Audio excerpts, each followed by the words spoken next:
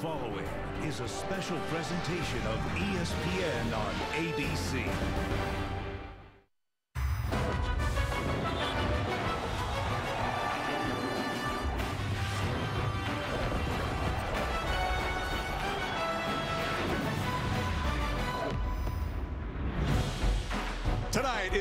Stillwater, it is the Bedlam Series winner take all for the Big 12 title. Saturday Night Football on ABC, presented by Walmart. Part of ESPN's Rivalry Series, presented by Jiffy Lube. Oklahoma and Oklahoma State, ancient rivals in this series where the weird and the wacky seems to happen with regularity. Oklahoma made the jump from seven to three. Playoff rankings trying to join Clemson, Alabama, Iowa, and Michigan State, all who've already won this afternoon. Is a Sooner win enough to secure their bracket position in their finale? Welcome to Stillwater. Chris Fowler, Kirk Herbstreit, Tom Rinaldi, and Heather Cox will join us on the sidelines. Part of this game is everything. Bragging rights, payback if you're Oklahoma. Baker Mayfield trying to make a Heisman case, and of course the conference title and perhaps the playoffs as well. Incredible to think you're in one of the last weekends of the year, and it all comes down to this. I mean, think about if you're Bob Stoops and you're looking at your team right now, and you're talking to them. They're 60 minutes away from accomplishing nearly everything that they want to accomplish. A conference championship, and if everything goes well, securing a bid into the top four to have a shot at a national championship. And I think Mike Gundy as well. If you would have told Mike Gundy in August, you got a chance to host Bob Stoops and the Sooners in Bedlam to have a chance to win a Big 12 championship game. Forget about the top four. It's about winning a championship, and Mike Gundy has his team ready to go. And for Stoops, his fiery quarterback, Baker Mayfield, a chance to make his closing Heisman statement. And a guy who's got 33 touchdown passes, but got a scare. He got a cheap shot at TCU yeah, last week. Yeah, it, was nasty. It, it looked very scary at the time. He was able to continue to play. They held him out in the second half against the Horned Frogs. The Horned Frogs almost came back to get them. He's had a great week of practice this week. He's been cleared. Uh, everything that we've heard from Bob Stoops on the field, even prior to the game, has said they've not held him back at all. So unless he gets dinged again, I, I, don't think there's a concern for the Sooners. Thing that I really have been impressed by with with Baker Mayfield has been at times you'll see him work within the confines of the offense where he's able to make reads and show accuracy throwing the ball downfield to Sterling Shepard. And then there's other times where he's kind of like a Johnny Manziel, where he's buying time. He trusts and believes in his confidence and what he can do as a playmaker. Here he's waiting and waiting and over seven seconds for the defense to try to deal with him. And that's one thing that Glenn Spencer, the defensive coordinator from Oklahoma State, says is we've got to be able to control him as, as much as we can and not let him escape and make plays. And I think Samaje Perine, as much as we talk about Baker Mayfield, to me, he's the key tonight, running the football to set up Baker Mayfield. Yeah, the Pokes hit the quarterback a lot. They take the ball away a lot. Oklahoma State's offense led by a quarterback, Mason Rudolph, who went to Norman as a true freshman and upset the Sooners a year ago. Well, and now he's back for an encore and is having a huge year. A quarterback that when you look in the Big 12 and you see quarterbacks having an ability to throw it downfield, he's as good as there is. J.W. Walsh also gets in, more of an option attack quarterback. When you see number two Rudolph in, it's kind of what you expect from the Big 12. They stretch you horizontally, and then they throw the ball downfield. James Washington, number 28, is the guy to keep an eye on. J.W. Walsh will come in in short yardage and goal line situations. These last five weeks in the red zone, they have been incredible, and it's because of J.W. Walsh. Their ability to run the football with him will be key to kind of offset what Mason Rudolph in that passing game will do. Walsh, one of those 17 seniors, will be extra emotional tonight. The Pokes, underdogs on their home field, trying to shake off the playoff chase. To the winner goes the Big 12 title coming up from Stillwater.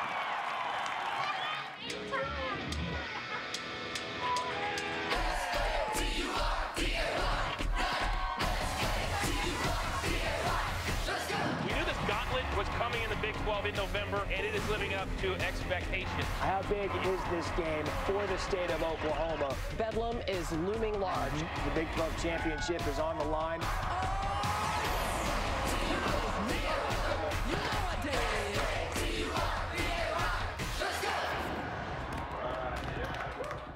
The Nissan pregame rush with John Saunders, Mack Brown, and Mark May is next after this message and a word from our ABC stations.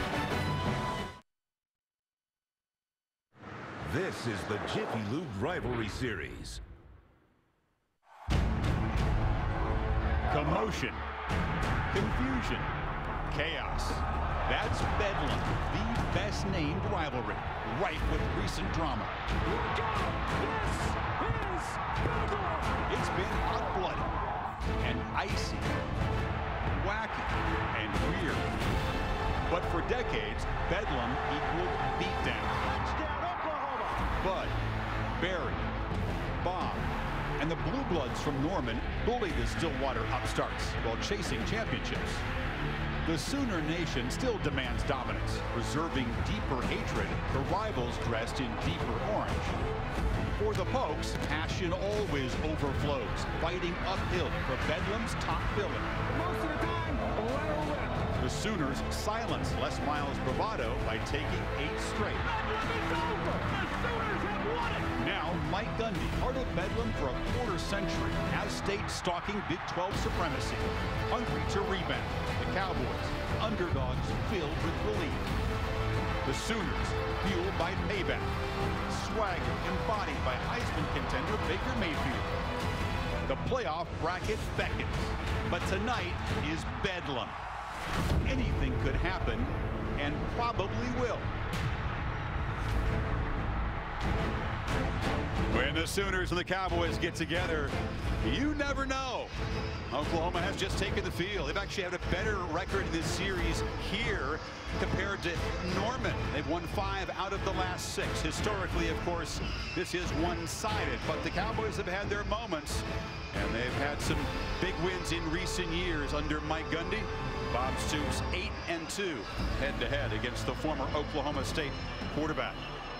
There's the Sooners quarterback tonight, Baker Mayfield's first taste of this Bedlam series. Began his career at Texas Tech and then redshirted in Norman a year ago, watching as the Cowboys stunned the Sooners. His top receiver, Shepard, has had just a monster stretch run. Of course, his father played here, and he understands this rivalry and has been a part of the Oklahoma Sooner football family for a long time. Can imagine what's going through his mind as a senior. Eric Striker, another senior, he had to learn what Bedlam is about.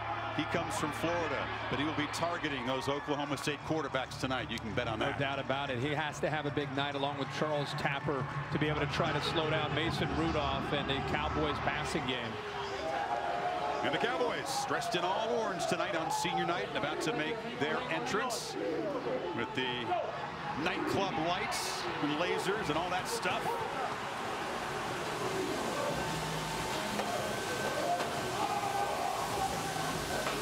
This is a team for whom the door was opened by Baylor's loss last night in Fort Worth. They got the great news that they can walk off this field tonight champions of the Big 12. Perhaps make a late case for their playoff suitability. I knew that they have put a lot of money into this stadium, but I didn't realize the whole strobe light here as they get ready to come in. This is pretty sweet. You better know your way to the field because it's backing your way through that fog down there. Pretty cool. Through the fog, here come the Pokes.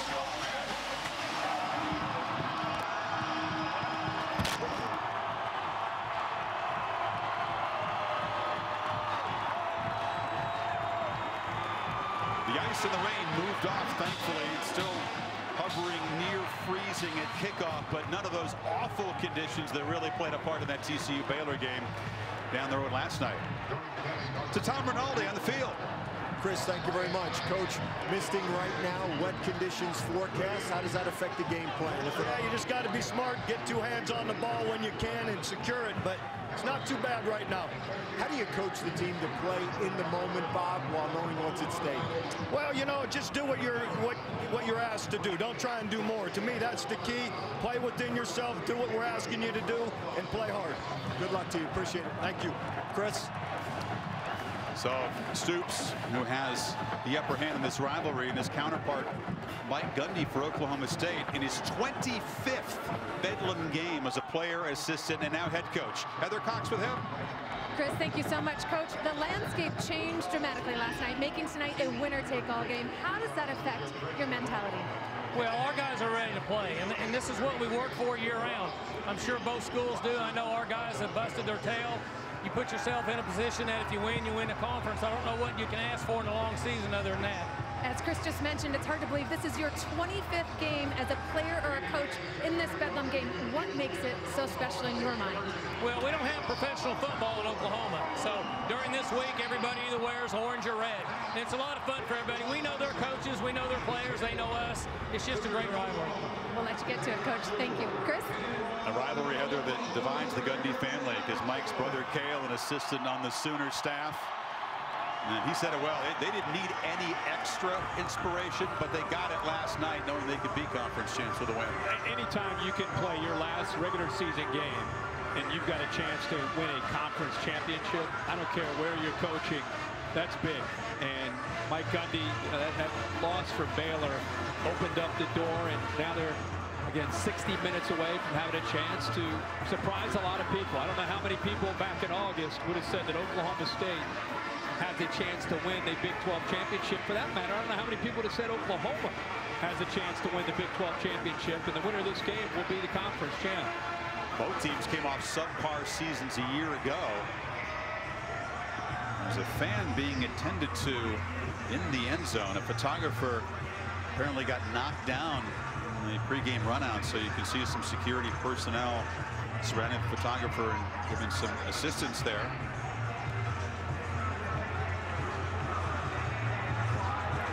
Oklahoma has won the toss, as I, they have done so, I believe, the last six games, and they've chosen to defer so the Cowboys would get the football.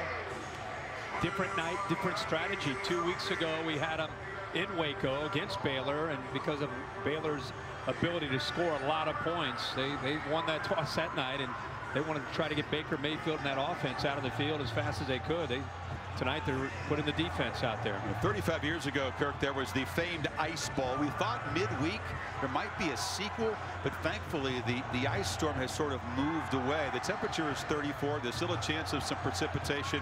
The wind is going to swirl around, but there were some fears that a repeat of this game way back in 85 when Mike Gundy was actually a recruit visiting, watching this game. Old Thurman Thomas managed to skate his way to a big game, but the Pokes got shut out, and somehow navigated to 13 points. A, a field goal was kicked by Blacksher in this game. And the Sooners won it, but but thankfully no Ice Bowl 2 tonight. No, that's good. It, you're right. Early in the week, it sounded like we might be heading in that direction. There's a lot of talent on those teams, especially Oklahoma. You go back to 1985, some great players. Course, Gundy says he does play the card that the Sooners will never fully respect the Cowboys. They know they've gotten their attention in recent years. That upset of Oklahoma as a three touchdown underdog a year ago in Norman where they were 14 points down with five minutes to play, rallied and won it in overtime was a huge boost propelling this team forward. And I think the loss by the Sooners and then the loss in the bowl game really has fueled their revival this season. So Bedlam had a big impact on both teams a year ago. No doubt about it. I mean, when you win a game like that for Mike Gundy, you're right, it, it propels you into the offseason, creates some confidence. And I completely agree with Bob Stoops in Oklahoma. They were humiliated in that game, even worse in their bowl game against Clemson. Bob made some adjustments, did some things he doesn't very often do, and having to let some coaches go, brought in some new coaches, and I think the Tennessee game early in the year in, Neyland Stadium in Knoxville, the way they had to come back to win, I think uh, reestablished some confidence that they lost a year ago. And it's been a magical year so far for the Sooners. We'll see what happens here in, their, in the last game of the year. Yep, conference title on the line. Sooners trying to navigate into that playoff. Nick Hodgson to kick it off. Chris Lacey and Jeff Carr deep for the Cowboys.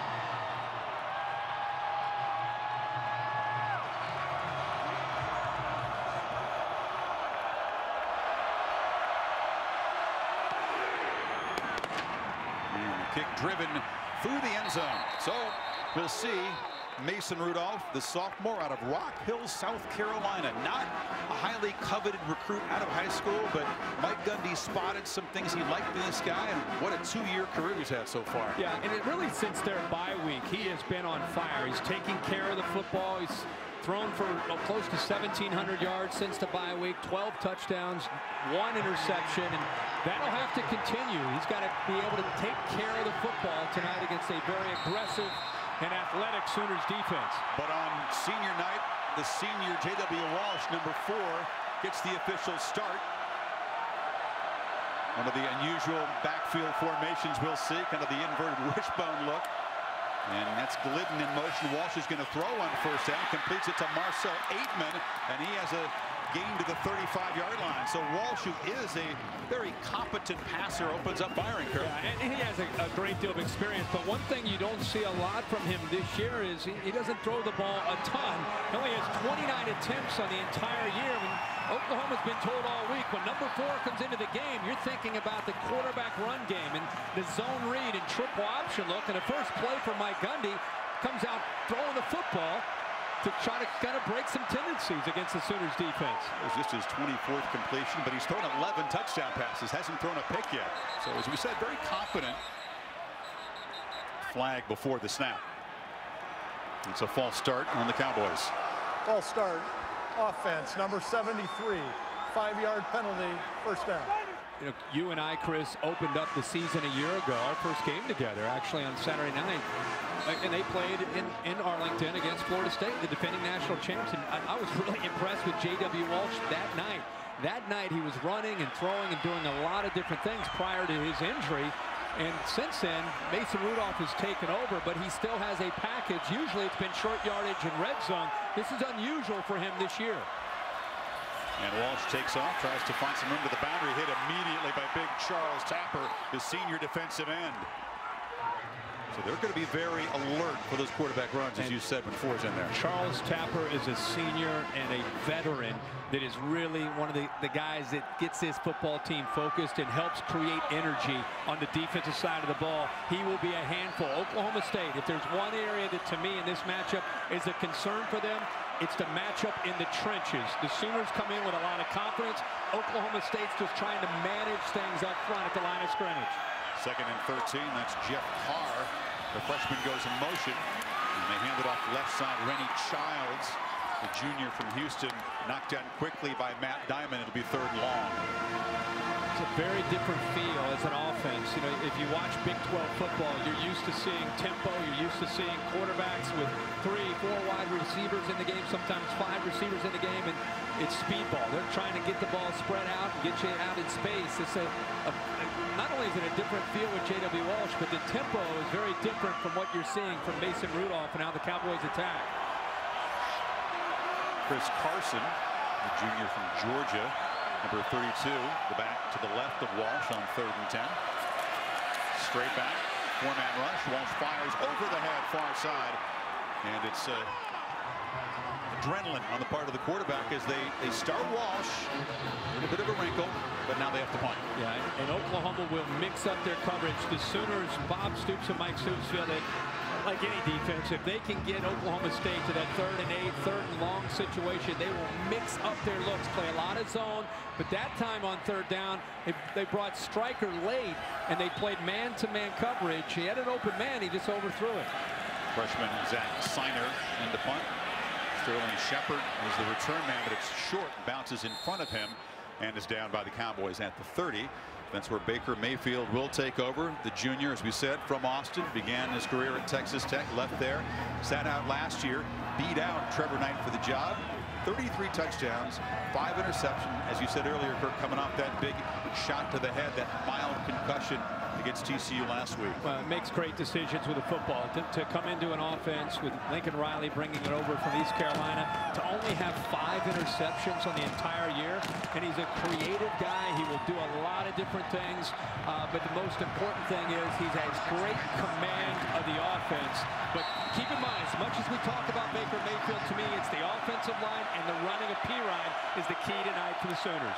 Perine is to the left of Mayfield. They fake it to him. They fire out to Jarvis Baxter, who's got some space across midfield, shoved out by Jordan Sterns, but the Sooners are rolling already. That was a problem for Oklahoma State last week against Baylor was not so much the receivers on the outside, it was the slot receivers against the safeties. That time they go after Jordan Sterns in a one-on-one -on -one matchup. Got 17 on that play, and now Mayfield shoots near side. Neal makes a catch down near the 25-yard line as he beats Kevin Peterson.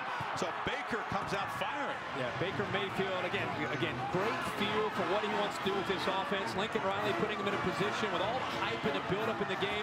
Instead of easing their way in, they're just coming out with guns blazing, throwing the football, attacking this Cowboys defense. Yeah, this is not easing their way in. 17 yards, 22 yards, and now Mayfield wants more, but he cannot escape. knocked down. He'll be chased all night by Emmanuel Ogbah, the sack master out of Houston. Remember, this is an Oklahoma State defense that gave up some big plays to Baylor. 396 through the air to Baylor.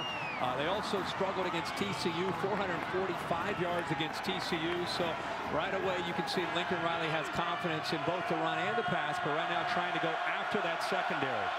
13th sack for Ogbah. 37th for the Cowboys offense. So on second and 13, Mayfield on the run, flips it across the middle, but taking a huge shot there. Trey Flowers delivered it, knocked the ball loose.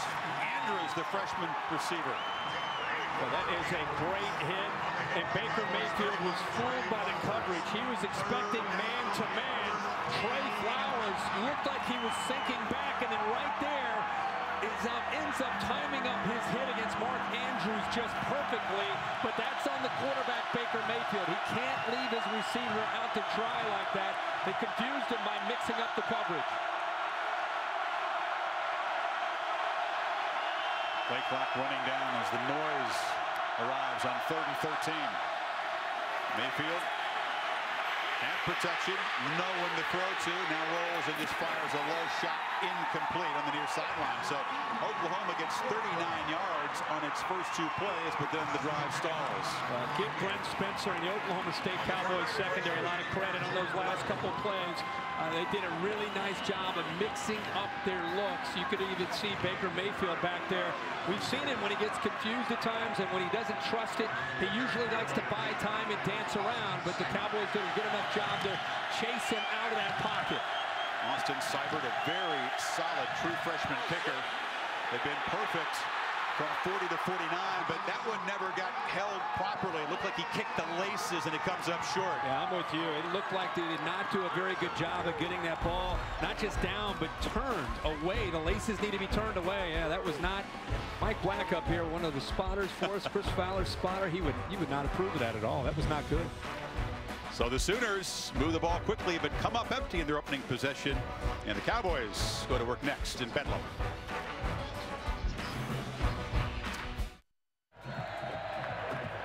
Second possession for the Cowboys. And J.W. Walsh, the senior, has not been the starter this year, is back out there, Kirk, for his second series. Rudolph had an ankle tweak against Baylor, but was said to be healthy, has been practicing. This is not about that, we don't believe. I don't think so. I think it's more, maybe they feel J.W. Walsh's style gives the Sooners defense maybe a little bit more to deal with. Empty backfield for Walsh. No one open. This is what he brings his skill set. It's a nice first down run before Ahmad Thomas stops him. Let's take a look at tonight's Chick-fil-A impact players for Oklahoma State, a, a, team that usually relies on throwing the football.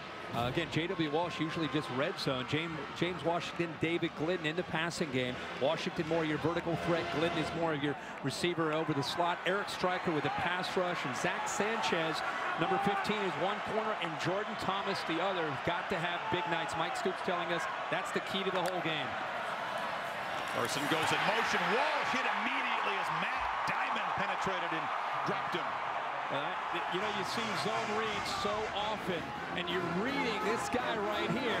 Watch how fast he collapses down on the back. I think he confused J.W. Walsh. J.W. Walsh was anticipating him staying with the running back, but by pulling it, got to give Matt Dimon a lot of credit just because of his intensity and how quickly he collapsed down. That speed of which he did, he was able to do that, I think confused Walsh on the read. You got Charles Tapper, Charles Walker, and Striker who get most of the attention, but Matt Dimon having a fine season as well, the junior. So it's third and seven for the Cowboys. Walsh has plenty of protection from the pocket, delivers a strike across the middle. Completion. And James Washington, the big play receiver for the Cowboys, moves to Oklahoma's 45-yard line before Jordan Thomas wrestles him out. And this is Oklahoma's answer. Rush three, drop eight. But look at the patience right here to find the throwing lane. Nice job letting the receiver Washington clear. It took a great job of the offensive line also protecting. But J.W. Walsh, a runner, showing the patience, making the right read until his receiver cleared over the middle. Got 23 yards on third and seven. How sweet does it feel for this guy who's been a loyal role player this year to get the start on senior night? Chris Carson running right. Just bulldozes for about seven on first down. You got to love the guy just because of everything that he stands for. And if you've watched this Oklahoma State team play this second half, he's been very similar to what Baker Mayfield has been as far as just providing a spark. Uh, when he's come in in the red zone and short yardage, when he makes a play, you know, he scores a touchdown. He's celebrating with his teammates. The team seems to feed off of that energy. But this has been very different tonight from anything that we've seen from him this year. As I said, he's been playing quarterback in the past, but not this year. Delivers, far side. Washington makes the catch and is not muscled out. He's the son of a legendary high school football coach. He wants to be a coach. When he was a third grader, before he did his homework, he told me his dad had him out in the backyard running the veer. And he was he had to write a paper at school talking about decision making as a young guy. For him, he said the important decision, you run the veer right or left. That was what he was focused on as a third grader. For real. I love it. First down from Oklahoma's 30. Good looking drive here. And Walsh back, looking to throw again for the end zone. Over the head of Washington, who just got a hand on it. Had some room. He had Will Johnson, the nickelback beat. Uh, what they're doing is doing a great job of protecting him when he gets back to throw the football. And then they're using crossing routes, which is occupying the defensive backs. You're right, he gets away from Washington, but it was the other safety, Steven Parker, who went over the cross across the middle because of another wide receiver that he was following and opened up the middle of the field perfectly. A little bit more air under that, and that's a touchdown for the Cowboys. Sooners up pressing those receivers on second and 10. Walsh fires near side and immediately flying up to knock down Childs. A couple of Sooners, including Jordan Thomas. You see this play so much, kind of a look pass, just get the ball outside. These defensive backs are getting more and more accustomed to it. Watch Jordan Thomas, number seven, fight off of his block and right away just gets up there to disrupt the rhythm of that play. Did a nice job, not just making the tackle, but first he had to get through that block which he was able to do. Now it's third down along again. Yeah, they're very much in fringe field goal range for Ben Grogan, who hasn't kicked one in the last five games. Need nine on third down. Sooners showing pressure. Walsh backpedaling, delivers into traffic. The catch is made at the 26, but knocked down immediately is Jeff Carr. There's striker there. Uh, striker, they're, they're bringing him late. They're disguising it up as a linebacker, and then he's doing a very good job here early in this game on third down of being able to time that blitz, time the blitz, and be able to get after the quarterback and get him off of his spot. Ben Grogan kicked a chip shot in overtime to cap the upset of Oklahoma in last year's Bedlam game. Has been little used this year, especially in the last five games. Is from 43, which would equal his long this season. Drives it just through. So Oklahoma misses their field goal. Oklahoma State makes theirs and jumps on top 3 0.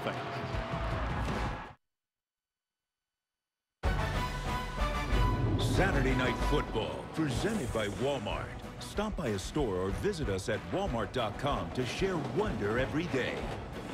Nissan, premier partner of the Heisman Trophy.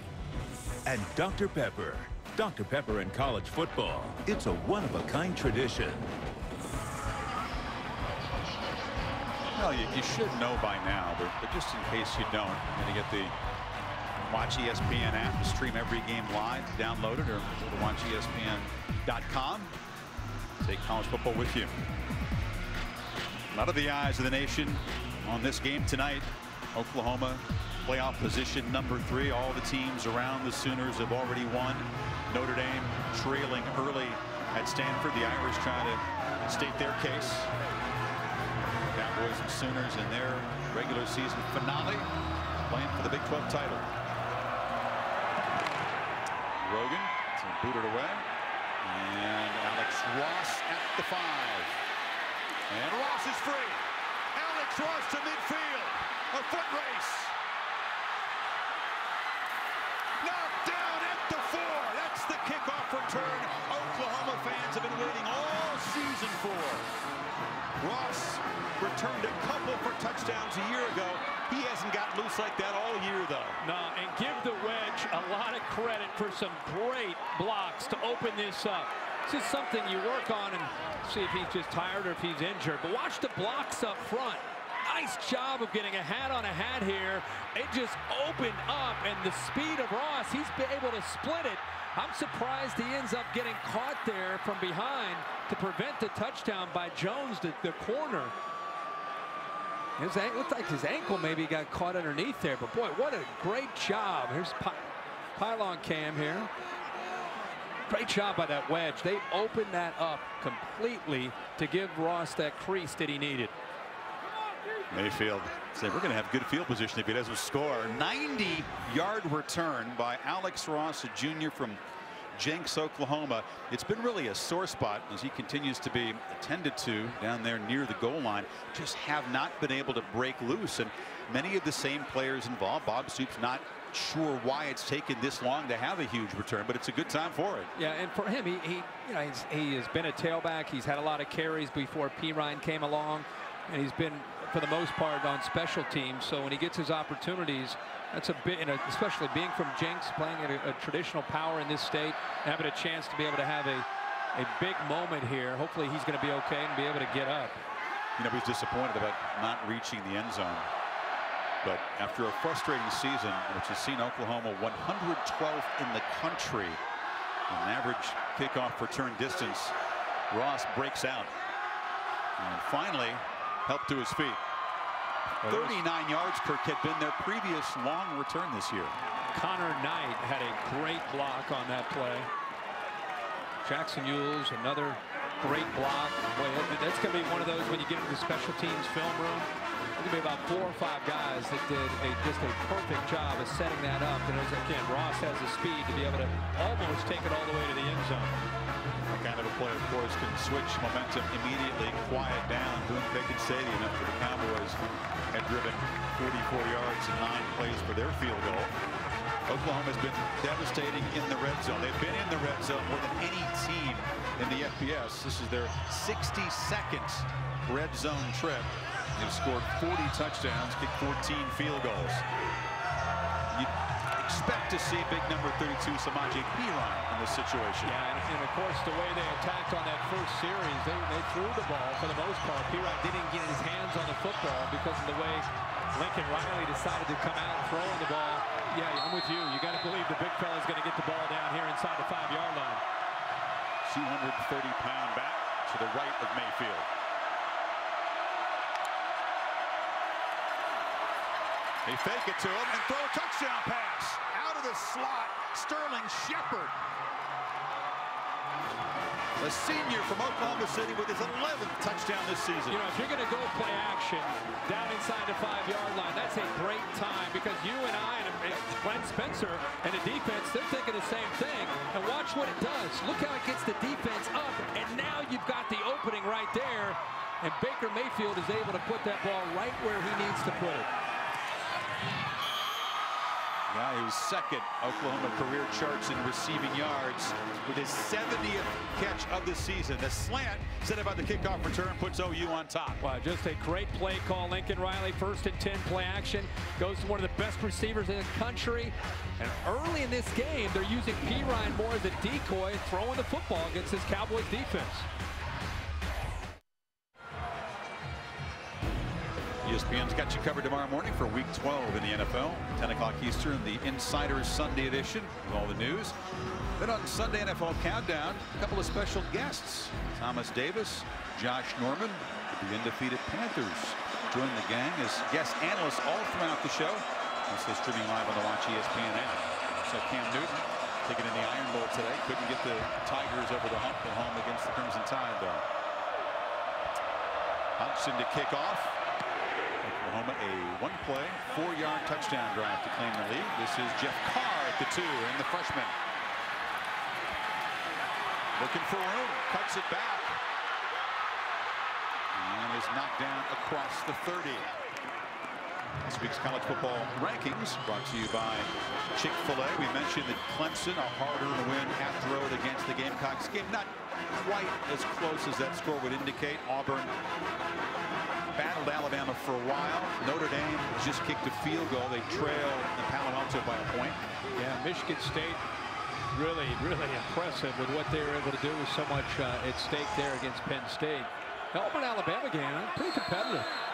Auburn, Auburn played pretty well in that game for the most part. If Oklahoma wins, you don't see any changes in the committee's top four? I, I can't imagine Oklahoma dropping out. I, think if they win this game, they're, they're going to be in the top four.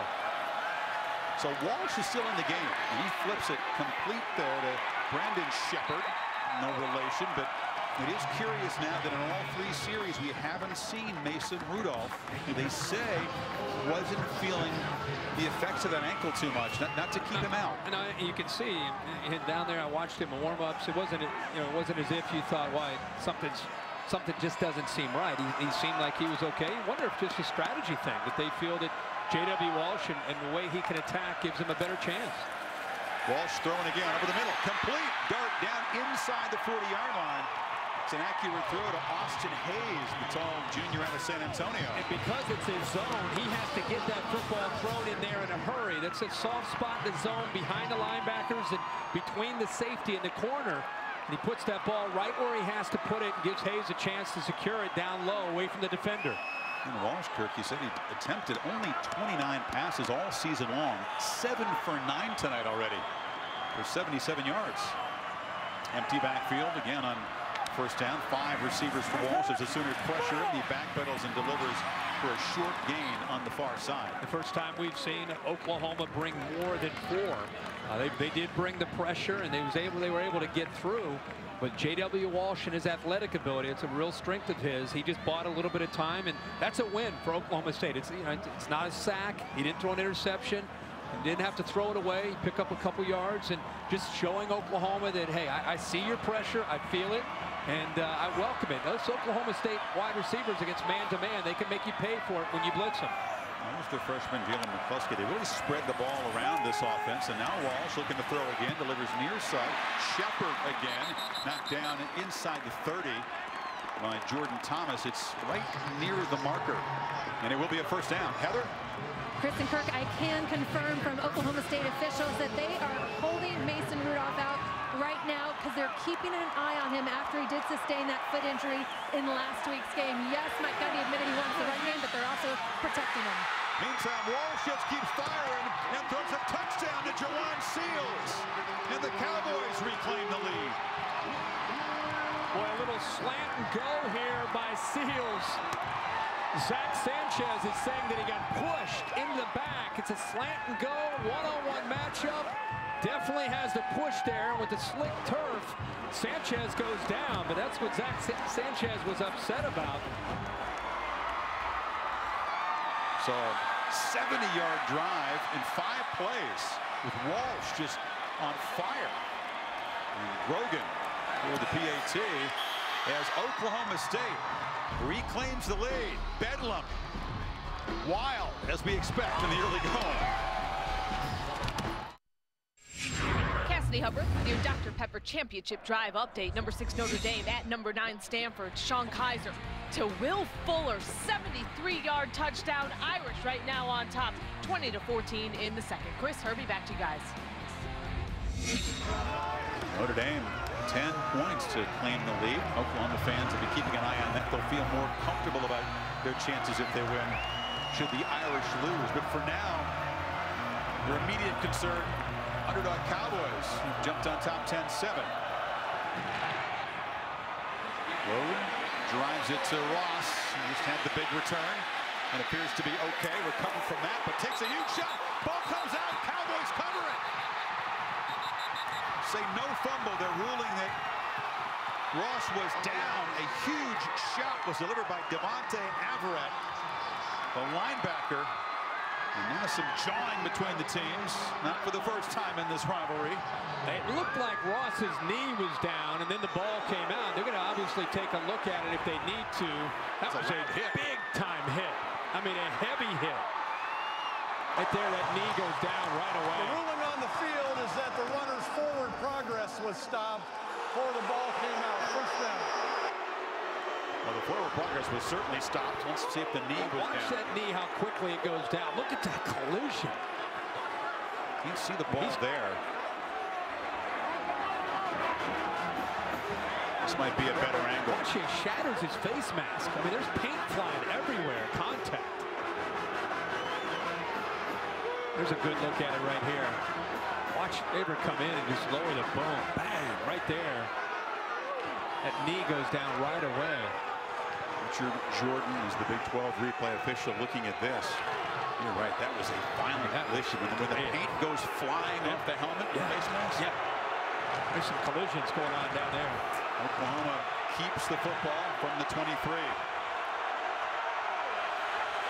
And finally, they feed Samaje Perine, who's gang tackled after a one-yard gain. Kevin Peterson. So when it is a forward progress situation, it's really not reviewable. Dave Cutaia, our rules expert, is here. Once they set forward progress, yeah. replays out of it. Okay. Okay. Big hit. Paint flying out there, Dave. Absolutely. Absolutely huge hit. There's going to be no forward progress after that shot.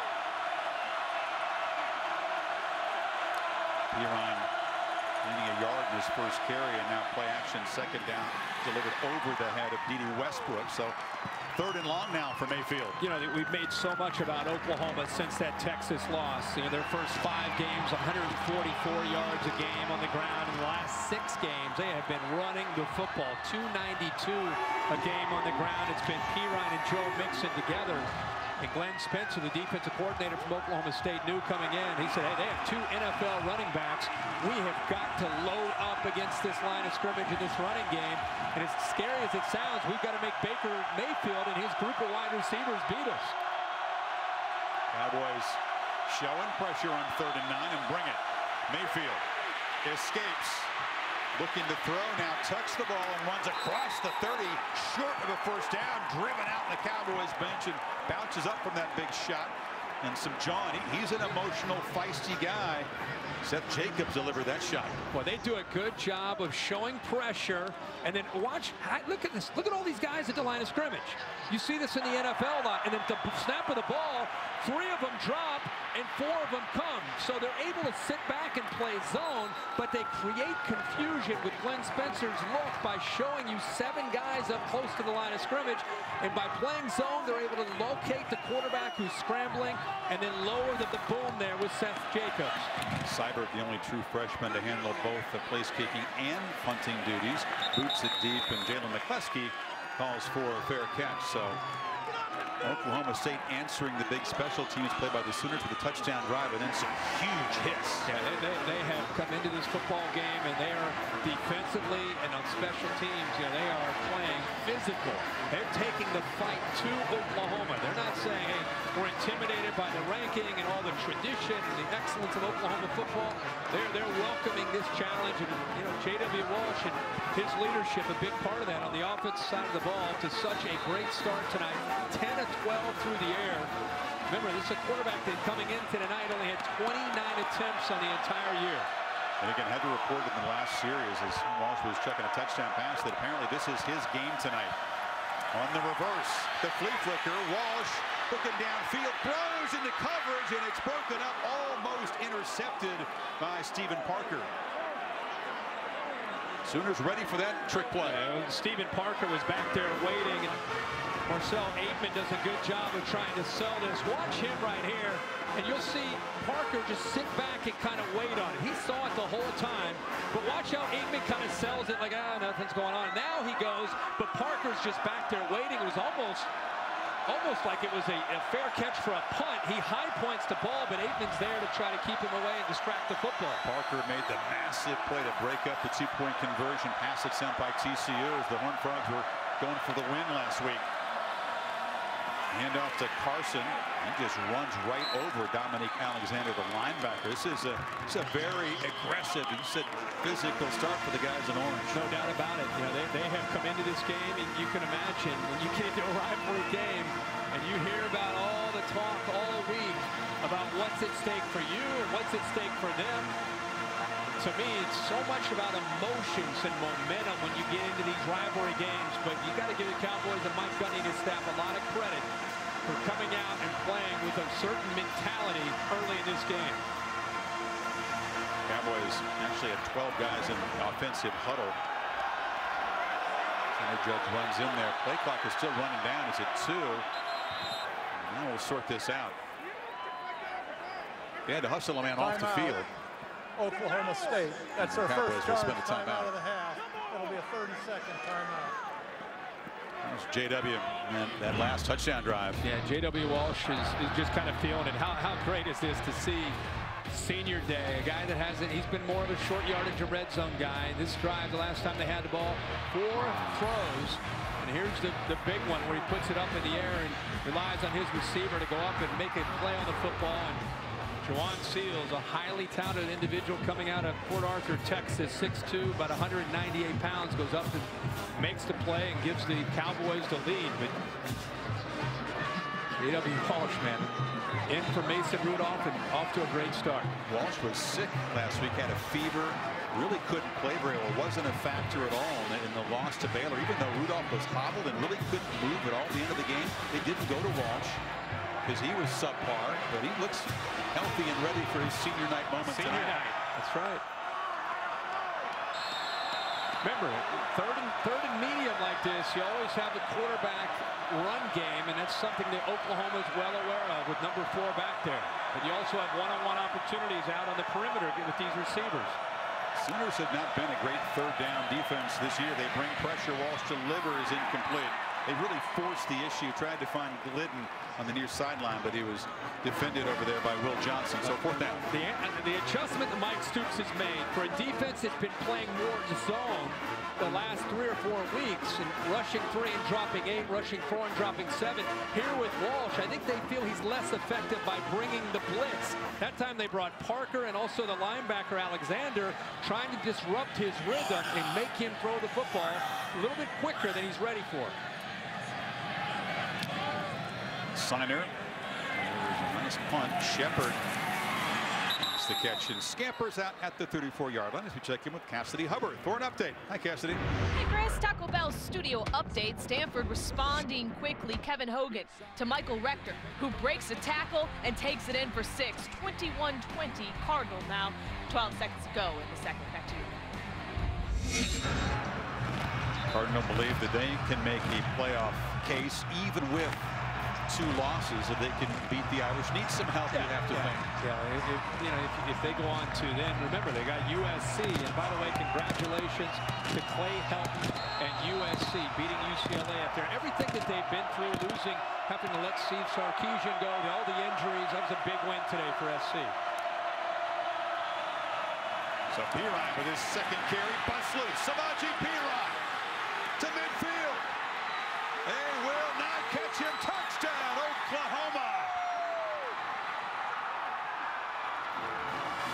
yards. That's why you got to feed the big fella. Yeah, that, that's what you're accustomed to seeing from Oklahoma. And I was surprised at how quickly Perine was able to get to the edge. I think that's a mistake by Oklahoma State's defense. That was too easy for him to get outside. He really didn't rely on that much blocking on the outside, but he gets to the edge in the corner, and he shows you he's got some speed. He sure does, man. Seibert knocks it through. Oklahoma reclaims the lead. He's big, he's tough, he's strong, and you're right, he's got tremendous speed and flexibility. No doubt about it. Watch the big fella right here. You have Brown right here who makes a block, but watch how easy he bounces. I would have thought would have been a linebacker maybe scraping, but he doesn't. That's not. He gets caught up right there. And look at this. You don't have anybody to block for the, the right guard and the right tackle. And then you have the receiver and the defensive back on the outside. And he's in man-to-man coverage. Watch D.D. Westbrook right here. Eventually, you, the corner, Hunter realizes that Samaje Perine's coming down the sidelines, and D.D. Westbrook hustles all the way downfield to pick up that key block to let him get into the end zone. The perils of man coverage on the corner. He's failing, didn't even know the running No, back's he's got his back back turned in man-to-man coverage. By the time he realized that Perine's coming down the side, he turn, takes a, a peek, and D.D. Westbrook does a nice job of helping to finish off that play and getting Perine all the way to the end zone. But there, there's a mistake by Oklahoma State to allow Perine to get to that edge that fast. Both Sooner touchdown drives have been one play. You saw the Alex Ross kickoff return, which set up the Mayfield to Shepard four-yard pass, and then Perine 68 yards to the house in 11 seconds.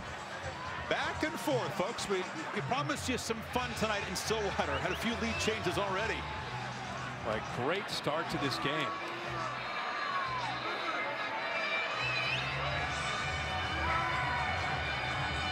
Came out throwing the ball, as you said, using Perine as a decoy, but he's too great to use as a decoy for long. Yeah, no doubt about it. A true sophomore who really does have the look of an NFL-ready running back right now. Not yet eligible for the draft, of course. Jeff Carr just take a knee, and the Cowboys will take over. Hey, Chris, let's go back and watch this and watch Dede Westbrook. You let, the, let this roll. You'll see Dede Westbrook down the sideline out here. Watch him and what he does to confuse Hunter. He's acting like the, it's a deep ball coming to him right here. Hunter's thinking it's going to be a bomb. And look at look at him. He's going, I'm, I'm going to catch it. Hunter's trying to go make a play on the ball. Little does he know that here comes Samaje Perine running down the sideline and into the end zone. That's like a shortstop trying to fake, you know, like the ball's coming. The little things a receiver can do. That was great. Well, and so what do Walsh and the Cowboys have to do to answer that one-play touchdown drive?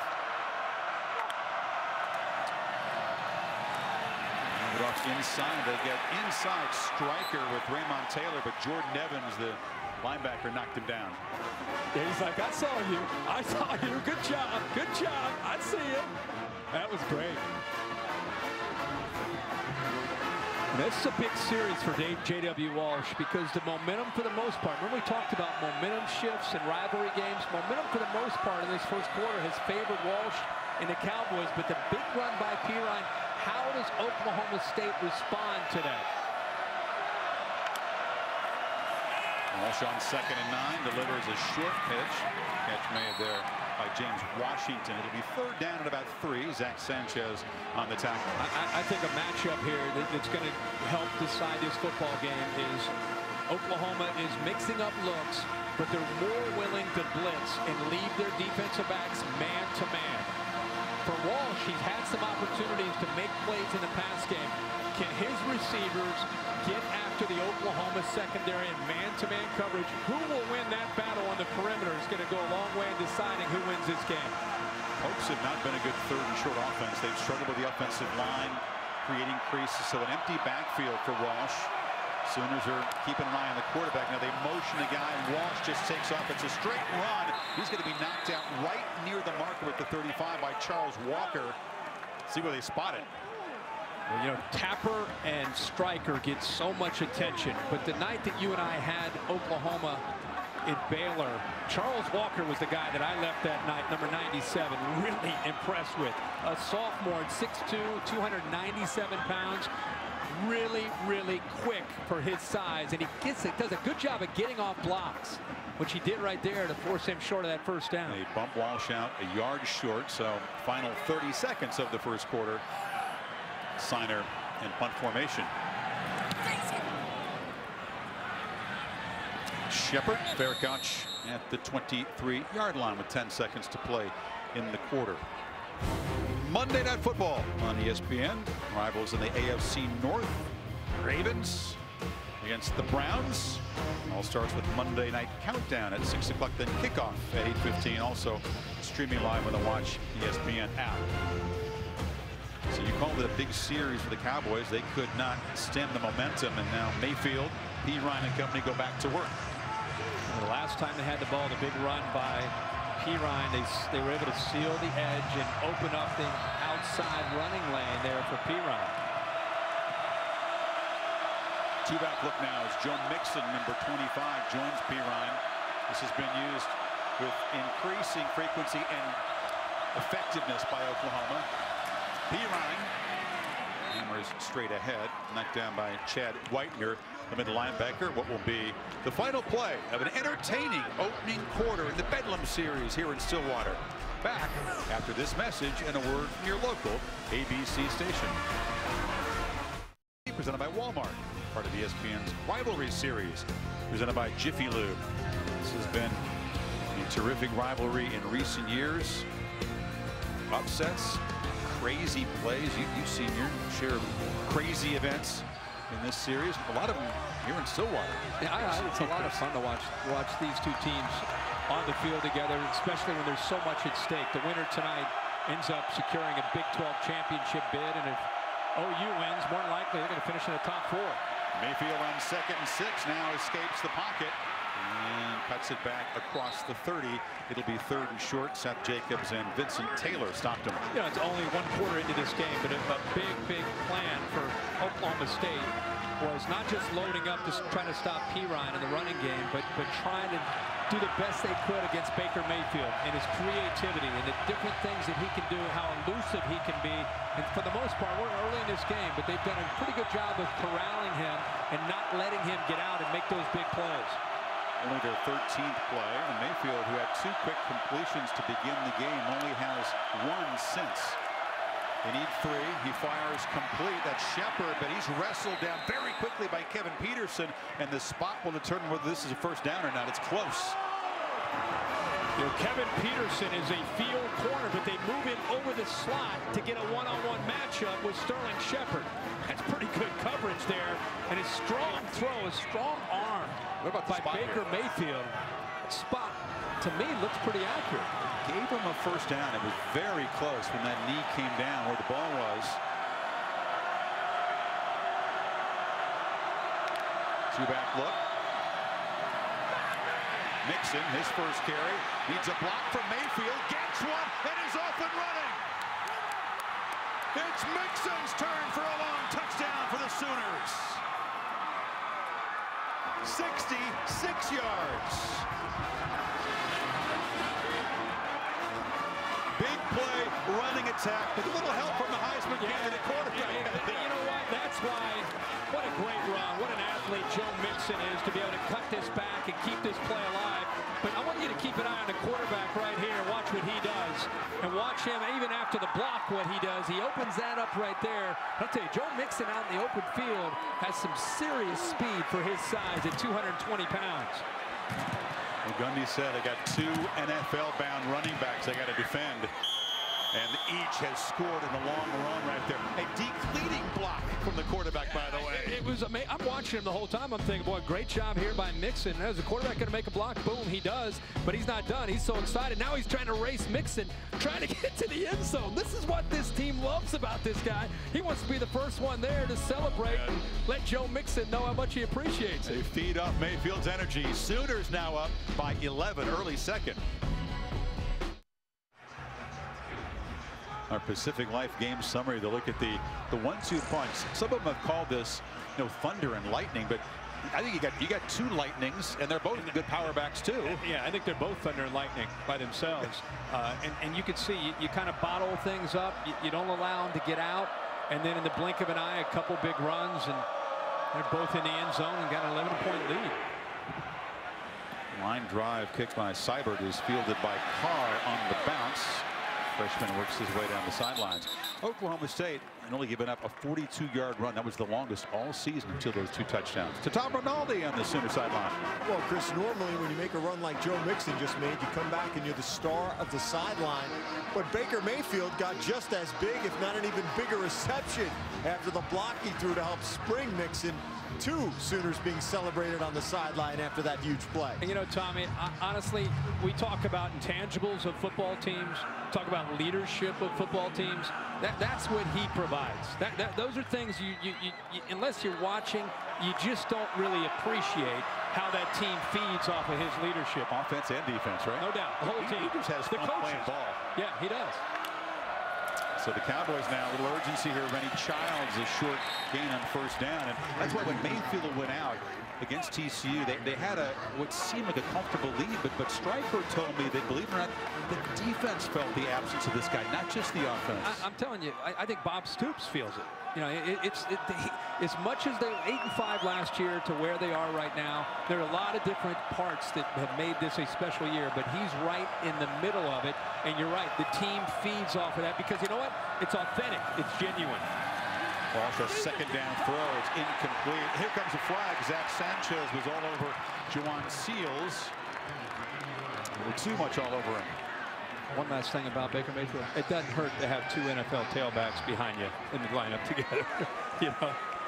Pass interference. Defense number 15. Yeah, that's a good call. Ball will be placed at the spot of the foul. Automatic first down. And Sanchez were an alpha of this secondary. Guy had a a pick against the Horned Frogs last game. Won't be the last pass interference we see called tonight.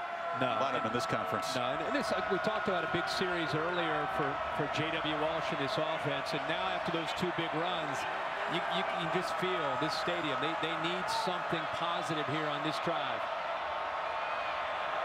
It's been Walsh passing, not running, which is a complete role reversal. Sooners bring pressure. Walsh gets it away. It's a low throw, and McCleskey catches it about the 44-yard line. It'll be third down. I talked about second down. Excuse me. Chris, I talked about two or three series ago about how this football team, Oklahoma's defense, their adjustment, and it, maybe it took them a, a little bit of a while to adjust to J.W. Walsh being in there instead of Rudolph. But they're blitzing a lot more and playing a lot more man coverage. The idea there is when you have an athletic guy in J.W. Walsh, you don't want to give him room to work. You want to try to force the issue and make him want to throw the ball and don't allow him to be able to get back there and make plays with his arm or his legs. On second and seven, they bring five again. Hit Walsh as he throws. The completion made along the sidelines there. And it seals and then move the chains. Chris, we just talked about that. Here, here comes the blitz with Striker. The see how he's coming late? See how he's able to do that? The athletic ability goes right by the big tackle because of his speed, but they're disguising it and bringing it late. Here they come again. Walsh flush from the pocket. Chased, and just as he's going out of bounds, Striker was in hot pursuit. He throws it away. Remember, this is an offensive line that has struggled for the, the entire year to protect the quarterback, even though Walsh is athletic. But watch Striker not give up on this. He's right here, and watch the speed. Watch the relentless attitude of not giving up on the play. Keep in mind, Walsh is an athlete. He can get away from pressure, but Eric Striker, as a defensive end outside linebacker, he shows you what kind of speed he has. An offense that had eight net rushing yards against Baylor, the lowest total in 20 years. They have 23 so far tonight. Jeff Carr's short game. Gundy was, was telling if he could just somehow squeeze out 100 rushing yards, he'd feel great about that. Well, it, it's going to be tough to do. Even though J.W. Walsh has an ability to, to make plays because of the way he can run, the, the, the, there's a mismatch in the trenches. The Oklahoma defensive line, and you add the linebackers, what they can do to the line of scrimmage is they can push it back and it frees the linebackers and those those safeties to be able to come downhill against that running game. It's going to be tough. If they're going to move the ball tonight, I think it's going to be Walsh creating or making plays one-on-one -on, -one on the outside. They got two backs in that block the blitz on third down. Sooners bring it. Walsh circles back and has to just fire away. So the blitzes that Mike Stoops is dialing up are effective. Here it is again, and, and you know who it is. And, and these, this is what you hear coaches talk about in college football today against these spread looks. We don't have to have sacks, but we want our we want our secondary to be able to, and the defensive line to be able to affect the quarterback. So they're affecting him means forcing him out of the pocket before he's ready to be able to make a throw, and he just has to throw it away. Boy, Striker is having his way with his Oklahoma State offensive line and pass pro. So Sinor to boot it away. The empty possession for the Cowboys increases pressure on their own defense as the Sooners go back to work from the 20-yard line up 11.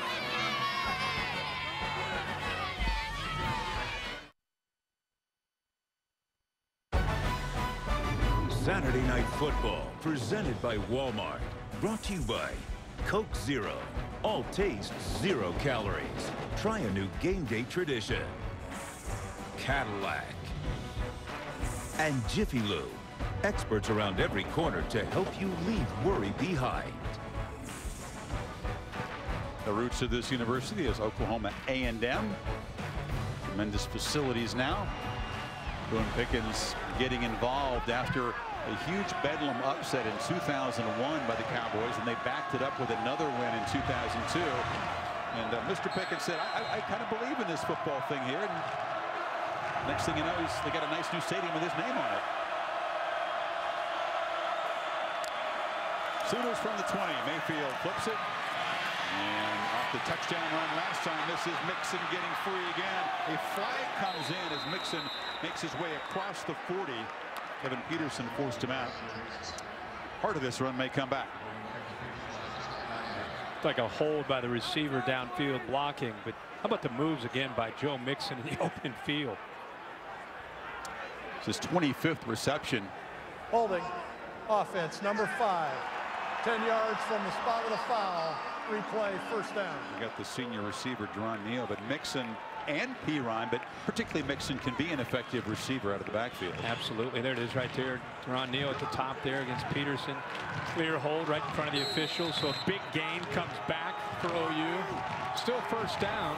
Yeah, it's a spot foul, so it doesn't erase all of that gain. First down and about six.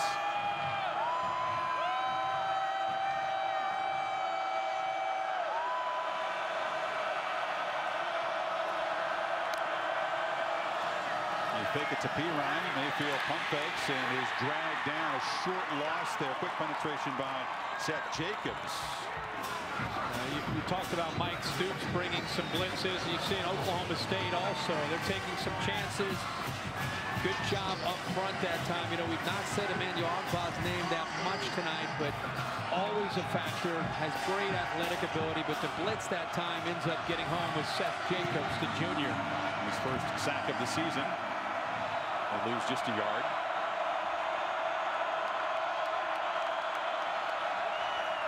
Mayfield pressured again, flips it across the middle. Catch made by Shepard, who's got room and a blocker.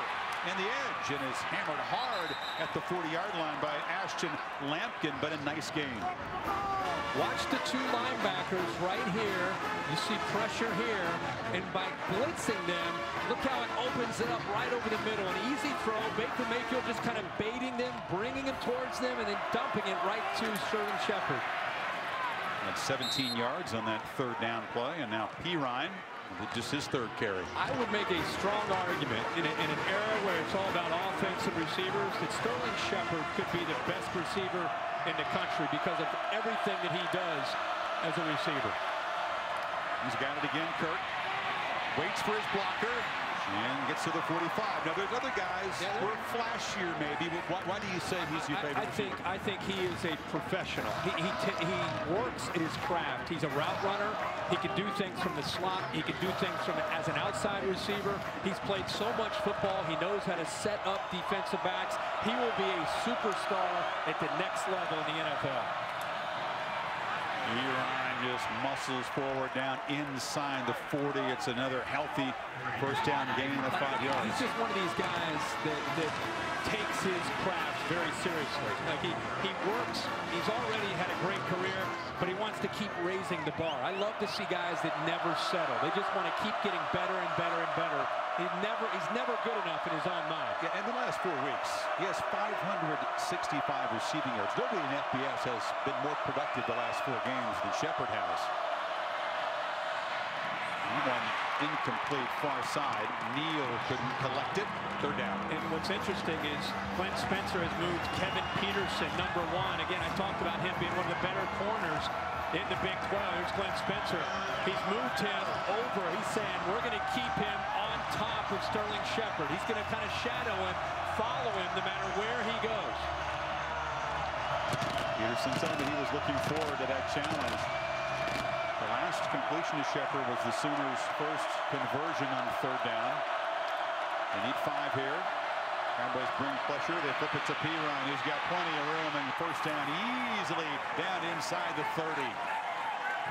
Both backs effective receivers. Yeah, and I think that's what has made Perine more of a complete back in Lincoln Riley's offense. You know, last year he was a true freshman, a powerful runner. Now he's blocking for Mixon. He's blocking in pass protection, catching the ball in the backfield, does a heck of a job. Fake it to him, flip it near side. Baxter blocked down. Terrific play by Peterson that time, and it's a loss. Yeah, he, he does a really good job here. You know, you know how it is in the Big 12 as a defensive back. You're out on an island almost the whole game. Whether you're out wide, you're in tight to the boundary, you're over the slot. Can you play out in space? Can you play on an island? And they rely on Kevin Peterson to do that. Now it is late in the year, too. He's nursing an ankle. He's not 100%. Just trying to gut it out here. Mayfield delivers far side, and it's another ball that Neal should have come up with. You, you bring up a good point about it being late in the year. This, this Oklahoma State defense, not just dealing with ankles and knees and, and injuries like this, a ball that Neal should have caught, but the last four games, 366 plays, 92 plays a game. They've been trying to defend the tempo of the Big 12. I don't care who you are, take a toll on you physically and emotionally trying to be able to stop these offenses. The paddle people there trying to make some noise, make it tough for Mayfield on this third and 12. Cowboys twist in front, but this is D.D. Westbrook, a crossing route, plenty of room, two downfield blocks, and he's shoved out first and goal, Oklahoma. How about the crossing route with D.D. Westbrook who gets the ball? Remember I talked Shepard? Well, here's an unselfish attitude, and he I may have gotten away with one. Watch him block right there. He takes out the defensive back, Ashton Lampkin, who was on him, covering him. Ball was still in the air when Shepard made that block. Got away with one there. Sooners back in the red zone, trying to really stretch this lead now. Mayfield wide open. That's too easy. Dimitri Flowers. Oklahoma just rolling now. Everything Lincoln Riley calling just about is working. And When you have a play, some of these superstar players, it catches the defense's eyes. You see him come in motion. By coming in motion like that, you see the defense flows, and then it's just simple. Just goes right out there. Defense has to flow and respect Shepard coming in motion because of the speed that he has, the playmaking ability that he has. The defense flows with it, and another great call there by Lincoln Riley on first and 10 to be aggressive with a play action pass. Ball start. Offense number 40 five-yard penalty. We'll replay the try. Yeah, Root kicked the point after. Lincoln Riley, that 32-year-old offensive coordinator out of Muleshoe, Texas. Guy with really an amazing brain. Total recall. One of those guys that probably could be a wizard in finance, make a billion dollars, but chooses to use it for calling football plays. He does a heck of a job. He, he did a great job last year at East Carolina with Shane Carden. Caught the attention of Bob Stoops. Bob Stoops made the move to go in and bring him in. And it has really paid off for this Sooners offense and the team. Oklahoma has run 26 plays, and they have 28 points, says Baker Mayfield. Running the ball, throwing blocks, throwing touchdowns. Boomer Sooner of 28-10.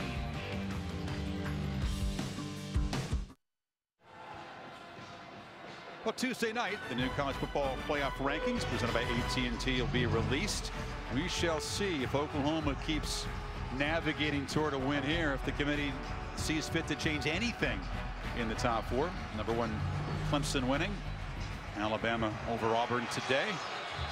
Notre Dame and Stanford still battling. We'll keep you posted on that one. 23-21 Irish at this point, trying to make their case. Sure are.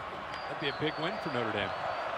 Meanwhile, Oklahoma 21 unanswered touchdowns on each of the last three possessions, and there is serious urgency now for this Cowboy offense. Hodson, the boot taken at the five by Jeff Carr.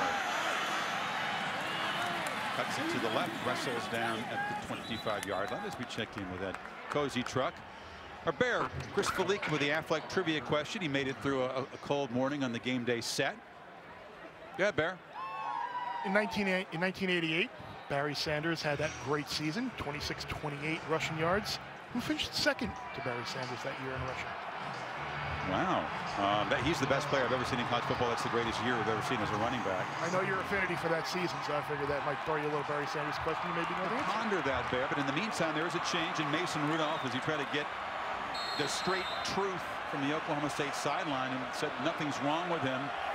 Is his foot injury serious? He, he hasn't started until now, hasn't played. But now, Kirk, they got to throw the ball, they figure. And Rudolph short completion to Glidden, who now just drops the ball. No, never had it. Never did complete the catch. Striker was in there.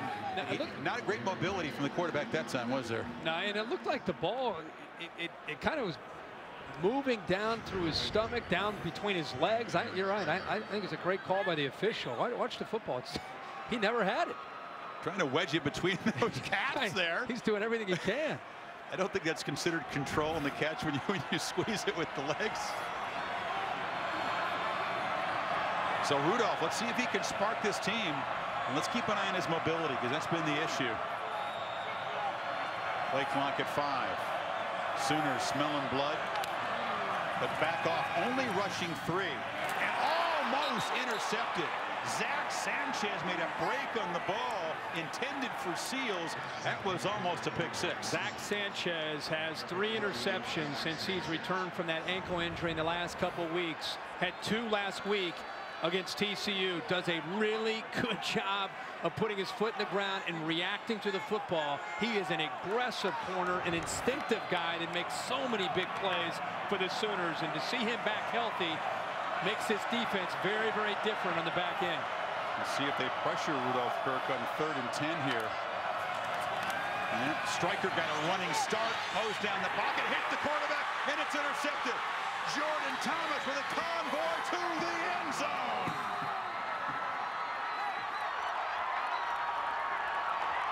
And the Sooners are smelling blood as Striker hit Rudolph, and Thomas took the pick to the house. And Thomas gets the interception, but Eric Striker gets the assist. He's been delaying these blitzes the entire first half. Here he is, waits, waits, and then gets right through Carson, the back.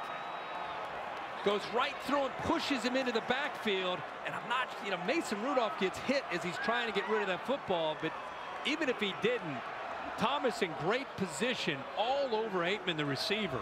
See how he's waiting, comes in late, uses his speed, goes right through Carson, pushes him right into the backfield.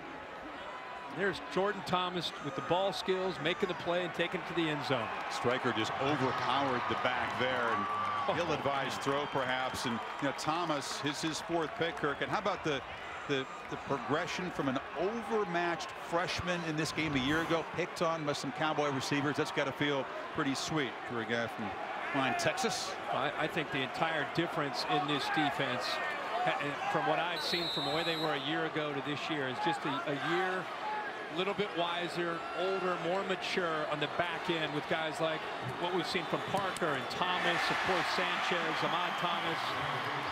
And missed the point. Really talented group in the back. To The point, one of the few things that's not going right for the Sooners at the moment. 27 unanswered now.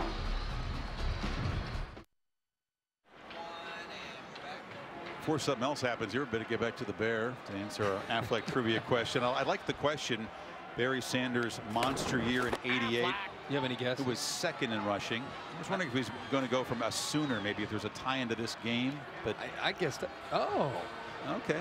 It is Darren, Darren Lewis, Lewis of Texas A&M, and the irony two years later, Lewis led the nation in rushing, and Oklahoma State's Gerald Hudson was second to Lewis. So How about Lewis? Flick, he had, a, he had a great year. He a thousand yards short. The Barry Sanders. Exactly. That, that's what I call a runaway rushing title. You've said forever he, he's your favorite college yes. player, right? Well, he's the best that best I've ever player seen. You've ever seen. Aflac trivia question. We thank you, Mr. Fallica.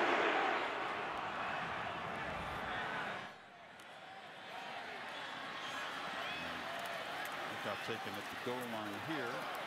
James Washington, the star receiver, not one of the normal returners, but they're trying to get anything, a spark going. And after Rudolph came in and threw three incompletions in the pick six, looks like he's not the quarterback. And Gundy's going to go back to Walsh, but I get it be honest, Kirk, I'm a little confused. I don't know if you are, the way the quarterbacks oh, have been yeah. used here so far. Well, I mean, again, for people that aren't familiar with Oklahoma State, Mason Rudolph, number two, is their starting quarterback. He's thrown for over 3,500 yards. They, they run an offense where they spread you out and throw the ball a lot, and J.W. Walsh has been kind of the change-up. You have two different offensive systems that makes it really tough on defenses these last five weeks to stop them because you can throw it with Rudolph and run it with Walsh. And tonight, for the most part, other than the last series, it's been all J.W. Walsh. Walsh now back in, loops it downfield for Washington, under throw. He comes back and makes the catch. DB falls down, and it's the Parks with a quick strike touchdown to cut into the lead.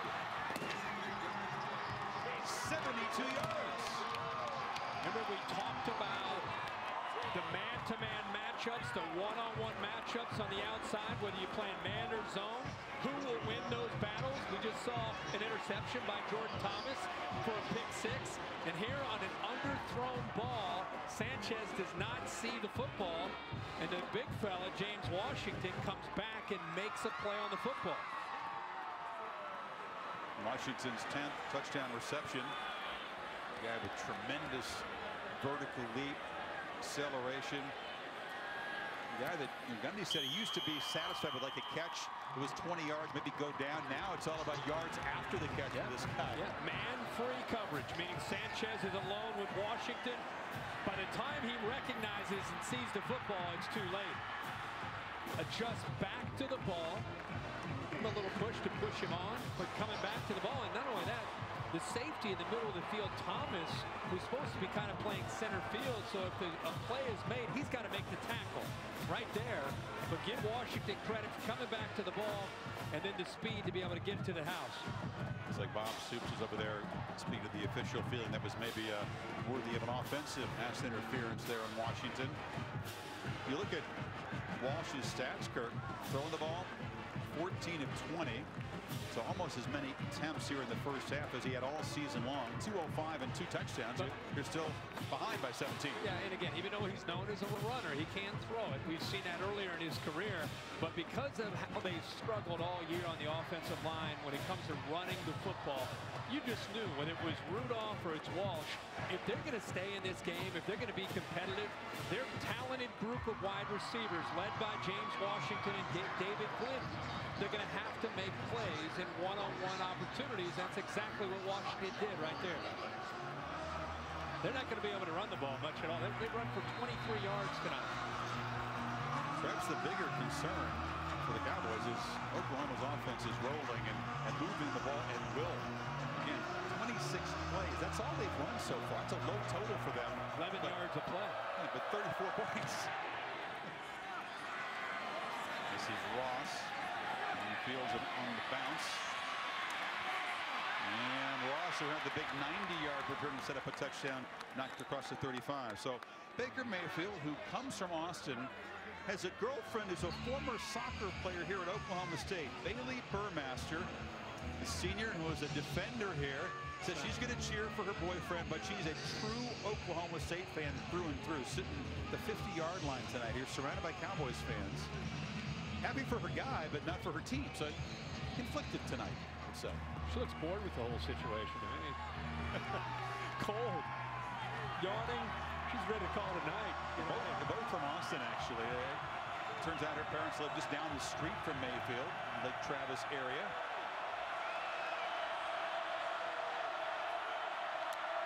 It's Perine behind the quarterback. They fake it to him. Mayfield a pump fake. Another pump fake. Still got the ball. And he shows his elusiveness. He, maybe not the most explosive guy, but he's got a way of kind of moving his hips and avoiding the tackles. Oh, abs absolutely. He, he is very, very tough for a linebacker or for any of these defensive linemen that are getting into the backfield. You got it's one thing to get there. You got to try to corral him. Try to corral Perine if you can. First down carry for four yards. Ogbah knocked him down. A couple of guys are going to be playing on Sunday for a long time colliding there. Ogbah's name much so far in the first half, though, have we? Perine again. Cross midfield. It'll be third and four.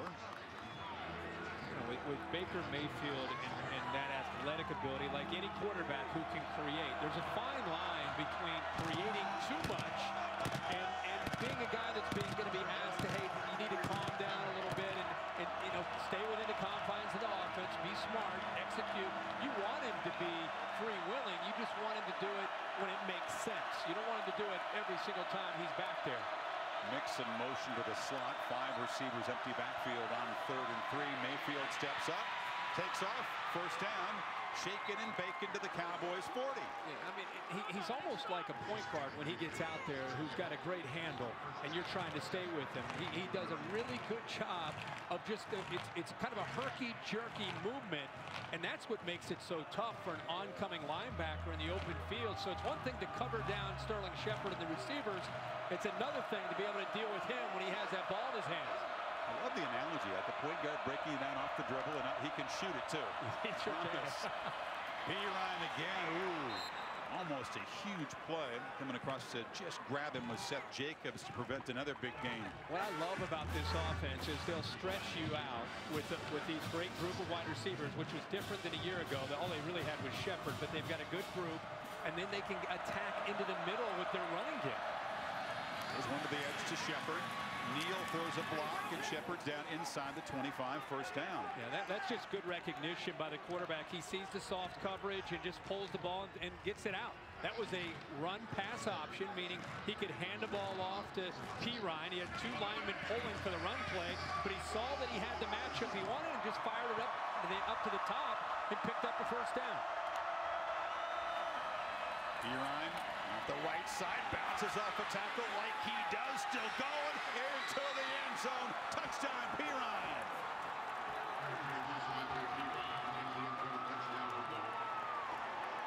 Twenty-five yards, most of it after contact.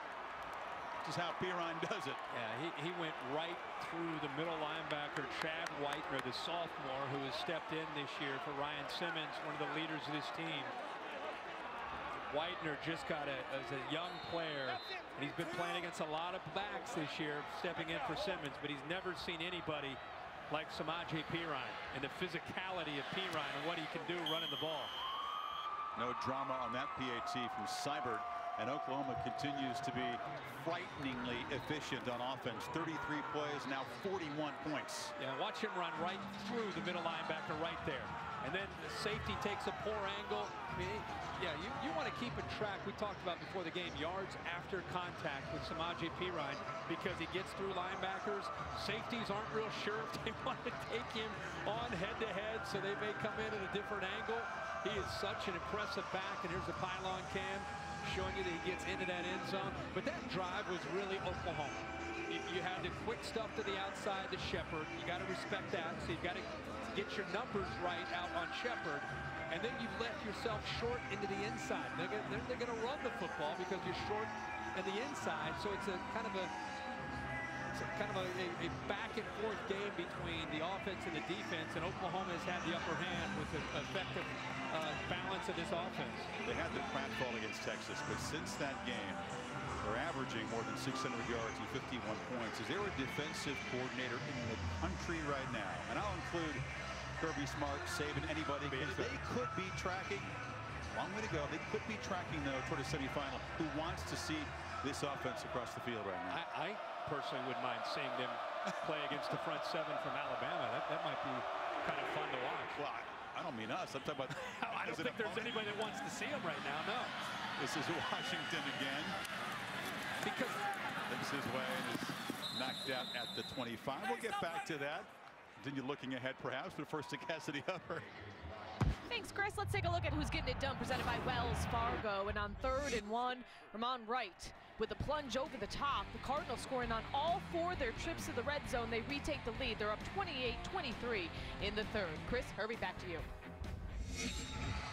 Cassidy, thanks. Good one in Palo Alto.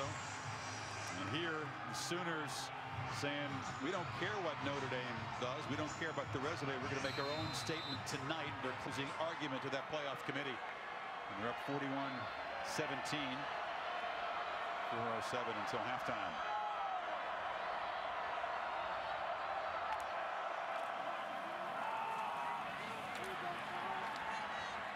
Taylor, short game. Yeah, what I was going to say is no matter who matches up with Oklahoma, the, the thing you have to deal with is they, they have it all. You have a quarterback right now playing with confidence that can run and can throw. They're going to stretch you out with formations, and they have a great group of receivers. And then you have two NFL running backs. They can run, they can throw, and you got a quarterback not turning the ball over, only five interceptions on the year. That, that's a lot to deal with. Walsh on second down, takes a shot again, throws it into coverage, and it's intercepted again by Jordan Thomas. One to the house already, space on the sideline, and dropped at the 30. So desperation for Walsh, another takeaway, and this thing is really fitting to get ugly. We, we talked about one-on-one. -on -one. This is just a great technician and Jordan Thomas. Chris, you talked about last year as a freshman, he was picked on. Boy, he has come a long way. Is long and athletic, but now experienced. Great body position. There's no way that Seals can get inside there and get to the football because of the way Thomas positioned himself. And look at this. J.W. Walsh play action and just throws it up hopes that his guy can make a play on the ball, but he was thrown to the inside. It made it very easy for Thomas to use his body to shield the receiver from getting to the football. Excellent play, again, by Jordan Thomas. He's picked off each quarterback. That's the first pick of the year for Walsh. And now Mayfield and the Sooners really smelling blood, trying to put this one away before halftime, perhaps. Perine again. Gundy's team has lived off takeaways and points off turnovers. Nobody better in the country. At home, the points off turnover edge for Oak State coming in was 80 to 7. He felt he needed to be plus two, plus three in this game. And, and instead, they've thrown a couple picks. That's a great point, Chris. They're plus 15 on the year. Second in the country coming into tonight and, and felt that they had to win that aspect. And tonight so far, minus two. And one of them a pick six. Yeah, not just the takeaways, but how they cash them in yeah. so quickly. So Mayfield escapes again. Still running. Look at this guy.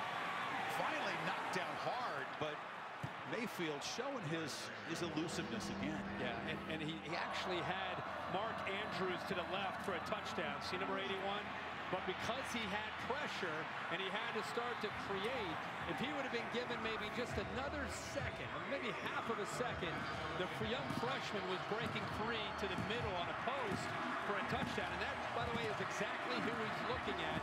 But Oklahoma State got to him just in time. You do on the third and 40? You watch Perine, you watch Mixon, the quarterback run, Shepard. I mean, pick your poison. Good luck. That was brings some pressure. It's Mixon on the handoff. Just brought down as he was bursting free. Seth Jacobs saved the touchdown, and it's fourth down. They continue to blitz. That, that, that Glenn Spencer, give him a lot of credit. They, down 41 to 17, but they are not losing their aggressive mentality. They have been blitzing those linebackers all night. And sometimes it's worked out, and other times they've, they've paid for that risky mentality. But they've not let off of that, that aggressive approach. Stoops says forget about a field goal attempt. At 41-17, they need three on fourth down. Play clock at seven. They're not going to get a playoff. They're going to have to spend a timeout here. But this is a, a performance that's, that's something to behold from Texas or from, from Oklahoma since that loss to yeah. Texas. It's, it's really been tremendous. I mean, it's been a defense that, as you pointed out, is so improved from a year ago and an offense that, that right now is clicking with a play caller that's in, in rhythm. I mean, this football team, as we get to this weekend and next weekend, the final time we'll have a chance to see all these teams, you, you know, you, you, you start to say, who are the top four? Who has the best resume? Who are the top four? And this is one game where Oklahoma, Oklahoma at this point has made a very, very strong statement to the committee and evaluating this football team on both sides of the ball. That's what makes Oklahoma so dangerous. It's not just the offense of Baker Mayfield. The defense and how much they've improved on that side of the ball makes them a complete team. And you throw in special teams as well. Talk about teams who want to uh, be judged on what they do when they're at their best, when they win, and not on the quality of the loss, which I think too many people focus on. Yes, Texas is not a quality loss for a playoff contending team, but how good are they when they're at their high note, at their best? I think, I think we're seeing it. And after the timeout, they are going to trot out Austin Seibert, the freshman kicker, for a 40-yarder. Missed earlier from 47.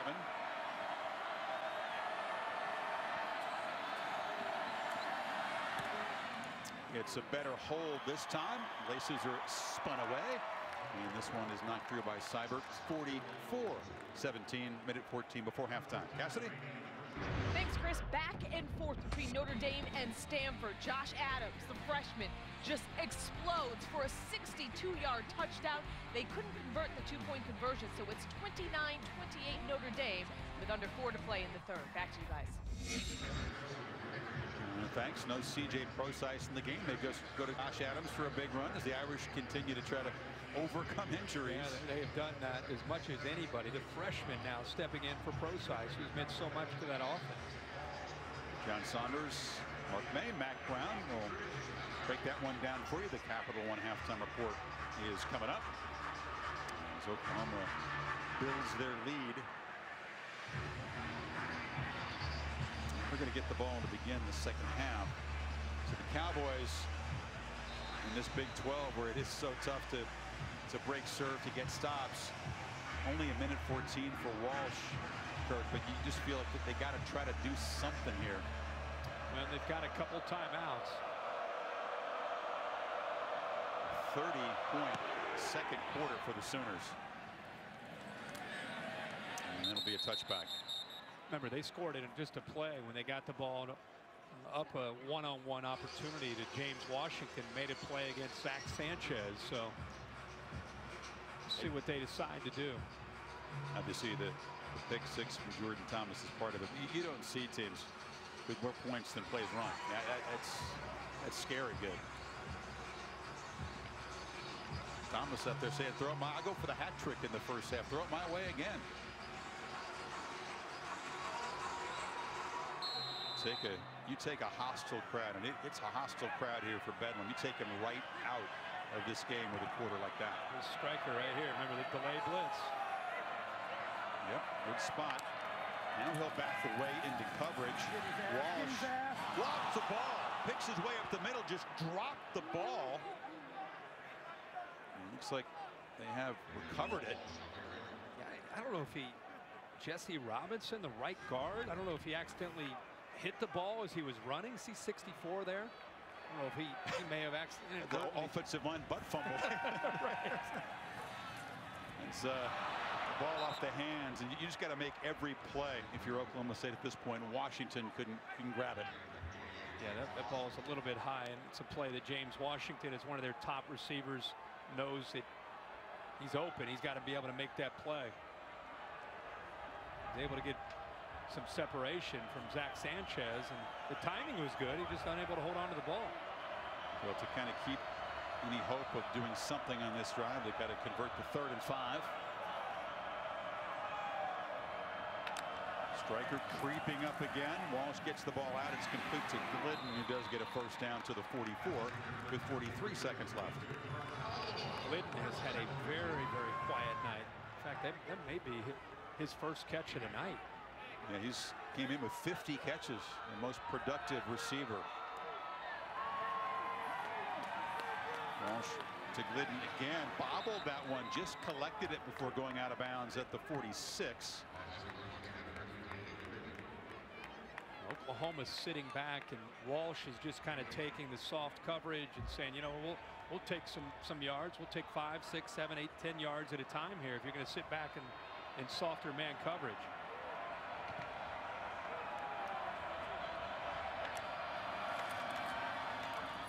One's tipped to the line of scrimmage. Striker, an active guy in the first half, got a hand on it.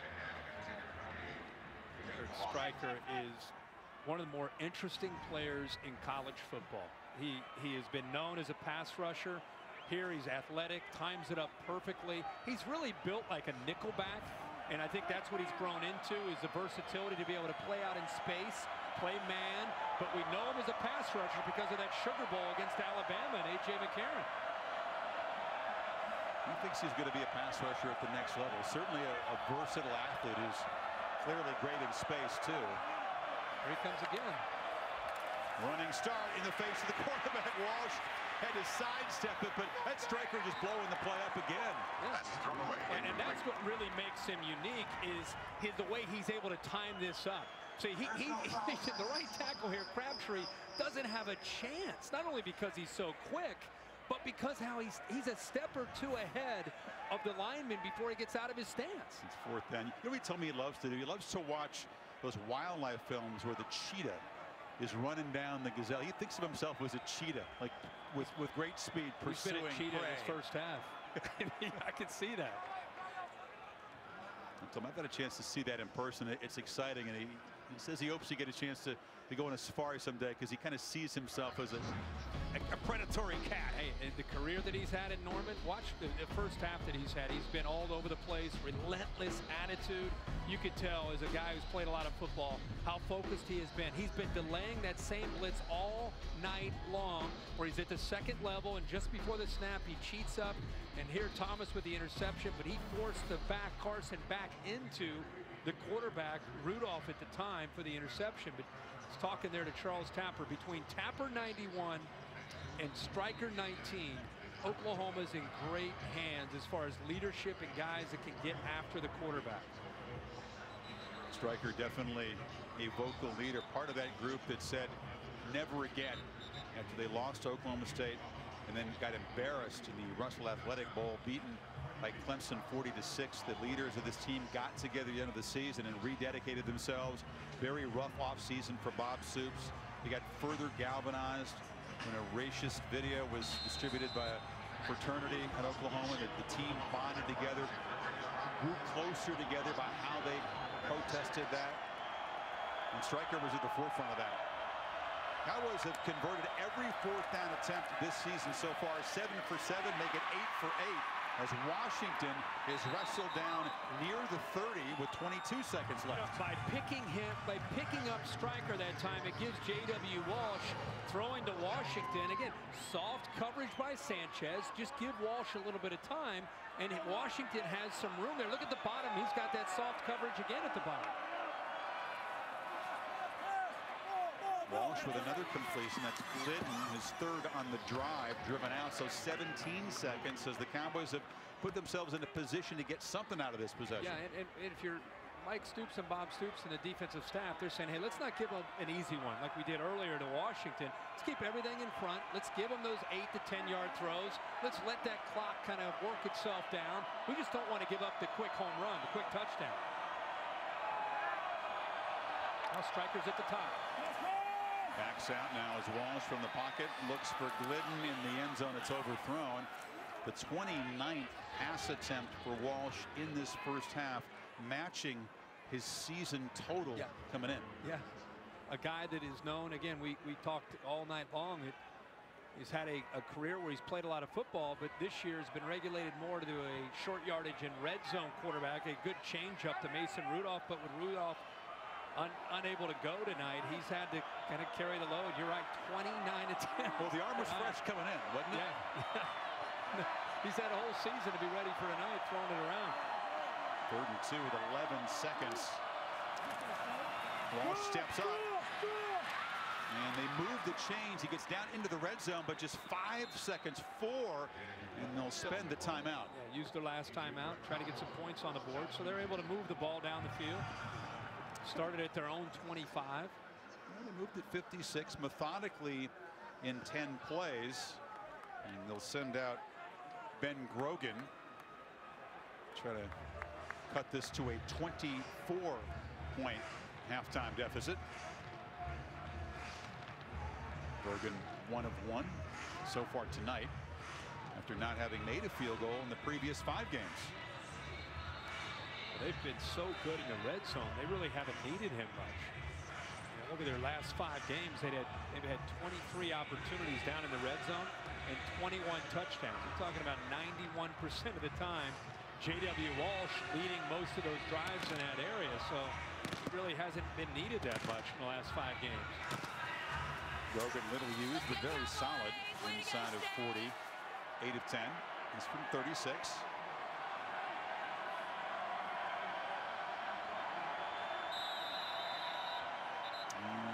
Timeout taken by the Sooners.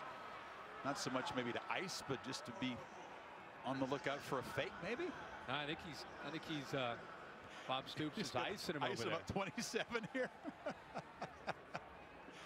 okay, if you say so, Bob. 11 Deer sponsoring the Good Hands Field Goal Nets from Allstate, making contributions to university's general scholarship funds for each field goal and extra point kicked.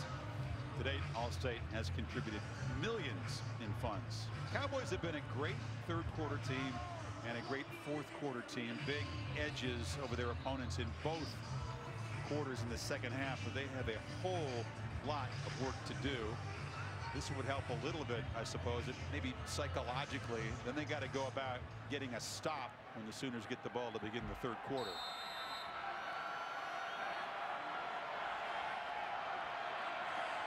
So Grogan from 36 yards.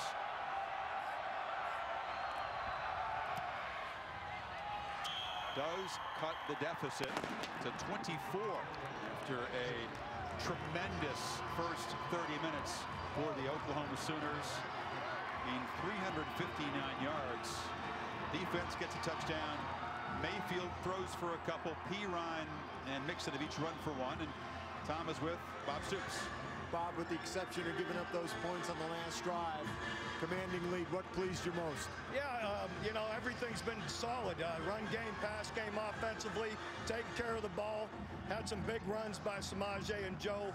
And defensively, really, there's two jump balls that, that were there, didn't make a good play on it. Message to your team to stay aggressive. How do you deliver oh, that? Absolutely. I mean, we, we've got to continue to play.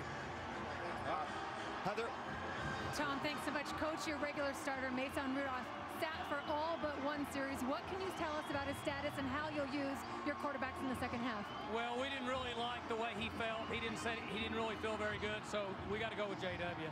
Before the game, you told me the importance of the running game. How do you ignite that with JW in the second half? Well, we got to try to stay with the game plan. You know, they uh, they've got us with some big plays here in the first half. We got to tackle better and then stay with the game plan on offense.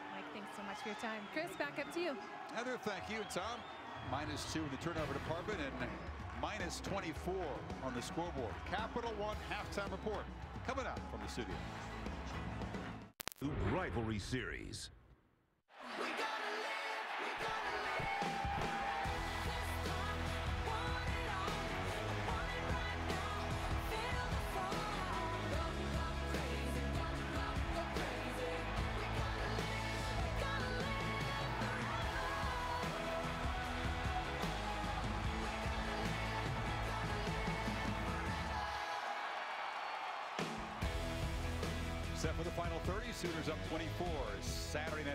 on ABC presented by Walmart. Part of ESPN's rivalry series presented by Jiffy Lube. Chris Fowler back with Kirk Herbstreit. We just saw the Oklahoma coaches in the hallway. Mike Stoops with his folder, still head down, focused, a job to do. If you're yeah. telling your guys at halftime, look, this is Bedlam, long history of crazy stuff, and Oklahoma State, remember, is the only team in the country that's three times come from 15 plus points down to win. Now it's a it's a tall order, but they've done it before. They've been down most of the year. In fact, five of their 10 wins, they've had to come back in the second half. This is a little bit of a different feel for what they're facing, the team that they're facing, and also being down by 24. Big time.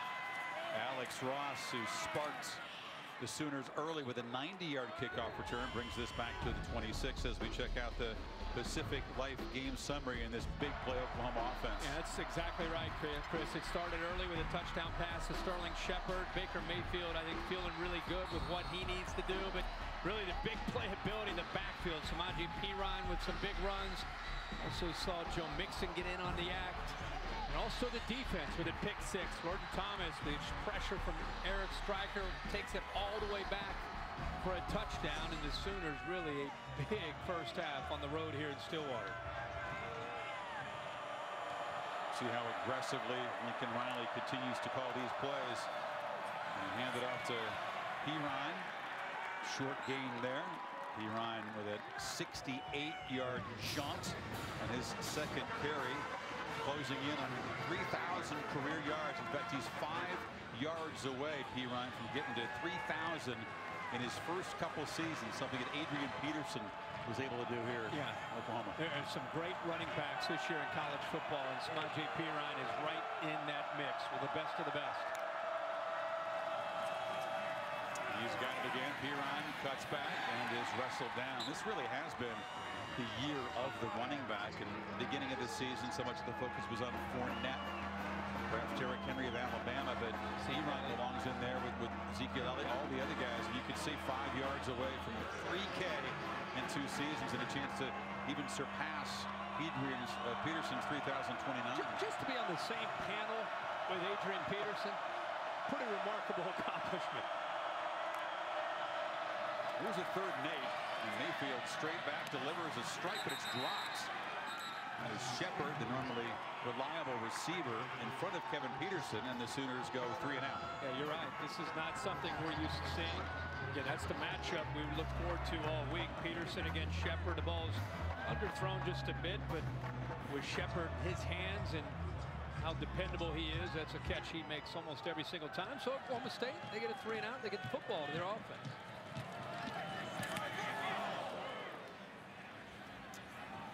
McCleskey makes the fair catch at the 26 and you heard before halftime Gundy telling Heather Cox he didn't feel like he wasn't specific, but he didn't feel like Rudolph felt right and was good to go again with the the foot problem the Baylor game. And Chris, not only does Mike Gundy lose Mason Rudolph, who's thrown for over 3,500 yards, but but as we've seen in the second half of the season, the combination of Rudolph taking maybe 80% of the snaps and the way they throw the ball over the place, and then when J.W. Walsh comes in, it's just kind of a change of pace.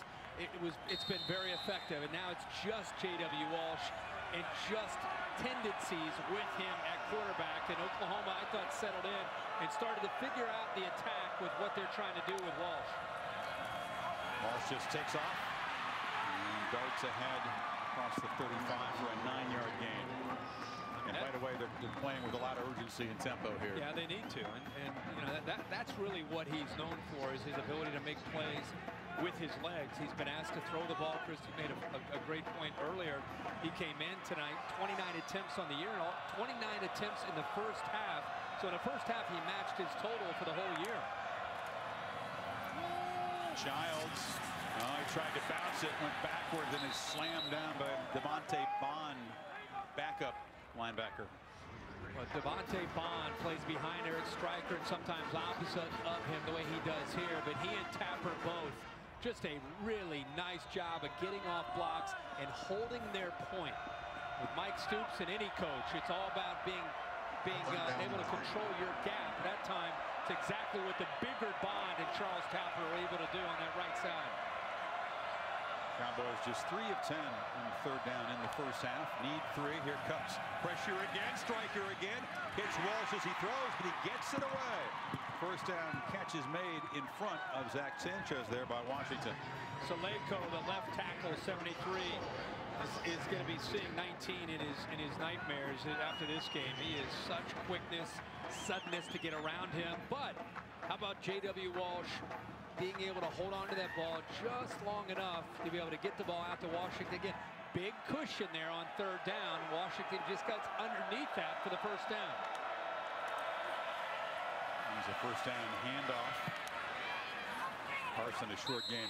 108 pound difference between tackle and rush in there. Salako and Striker and about a 100% difference in quickness. I mean, when you think about great outside linebacker, defensive end type of guys who rush the, the quarterback in college football, I mean, you're looking at a guy that you know, a lot of times is 245, 255, maybe 260 pounds.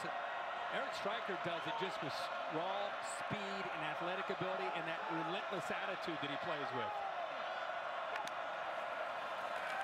They got two guys to Striker's side. They pick it up, and now the ball caught downfield by Seals in front of Sanchez, who got beaten on the play. The Cowboys are in business. Zach Sanchez is probably the top corner on this defense, but he's really struggling at times here tonight.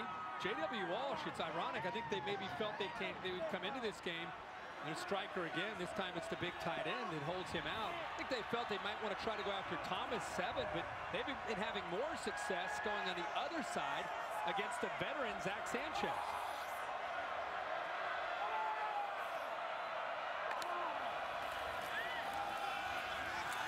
Carson breaks free. Good strong run down into the red zone. Another first down for Oklahoma State. So they get the three and out. And now threatening, which is pretty much what they had to have happen to make this a game. Yeah, absolutely. And he shows nice patience there on a zone play. Just kind of waits for that crease to open up and then accelerates through that for the first down. You're not going to see many openings for this running game. That time they were able to capitalize. Carson again hit immediately that time. Steven Parker from his safety position. Ball came out there now flag. Oklahoma pointing their way like they have it. Officials will sort this out. I think Eric Striker looked like he was involved after the whistle. I don't know if that was personal foul or what, but he's trying to fight for the football well after the, the whistle. is that the runner was down prior to the fumble during the run. Personal foul face mask, defense number 19. It'll be half the distance to the goal, automatic first down. So we'll check and see if, in fact, it was a, a fumble, but the call stands. Striker has moved the Cowboys inside the 10-yard line. Another look. Uh, look, I mean, look at that. And Eric Striker's definitely got a hold of him. He's down. He's still going for that football, but his left hand has a hold of his face mask. Definitely down. Yeah. Well before the ball is ripped out. Cowboys with a first and goal at the eight. Motion Carson. Walsh keeps it the other way and bangs down inside the five. Whatever Mike Gundy said to his team, it definitely gave them a belief that they could come back into this football game and, and try to get a stop with Oklahoma getting the ball to start the second half and move down the length of the field and get some points on the board. You get it to 44 to 20, 27, and all of a sudden that sideline starts to believe a little bit. Remember, familiar territory for the Cowboys all year. They've had to fight from behind. As you said, the opponent is tougher, the yep. deficit a little bit bigger, but this yep. is a great start for Oklahoma State. Second and goal. Walsh with blockers, but a lot of traffic. Just nowhere to go. Jordan Evans clogged it up. It'll be third down. He'll lose a yard. Yeah, Jordan Evans did a really good job along with the rest of the Sooners there. Another play by Devontae Bond, but it was Evans in the middle flowing. Nobody, none of the linemen were able to get up to him. We call it third and goal here. Do you, you, you trust Walsh to throw it in the end zone? Yes.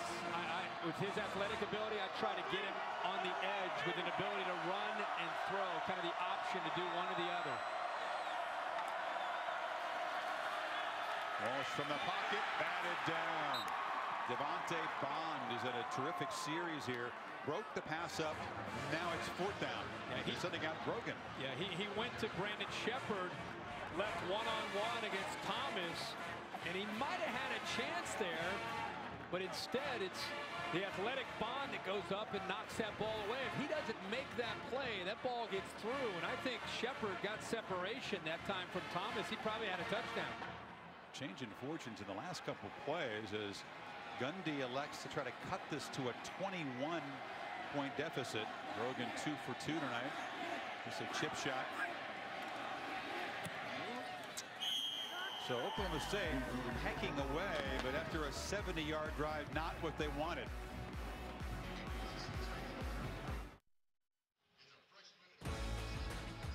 Curtis, in the Allstate bus will shepherd us down the road after this ball game. You can enter the Allstate It's Good sweepstakes. Chance to win 100,000 bucks plus a VIP trip to the Allstate Sugar Bowl and the national championship game out in Arizona, as well as weekly prizes. Interesting that Gundy chose the short field goal instead of going for it from about four yards away, trying to further cut into the lead. It's still 21 for the Sooners. Faith in his defense showing that. Off the three and out they produced to begin the quarter. And Grogan as Ross back to the three. Alex Ross sets a couple tackles, approaches the 30s. We check back in with Cassidy. Quite a brewing, quite an ending brewing between the Irish and the Cardinal, DeShone Kizer into the touchdown, ties it up. It's under review with under 30 seconds to go. Tied at 35. We'll keep you updated. Chris and Herbie, back to you. Cassidy Thankis who up the TD stand to PAT. Essentially decided in the final minute.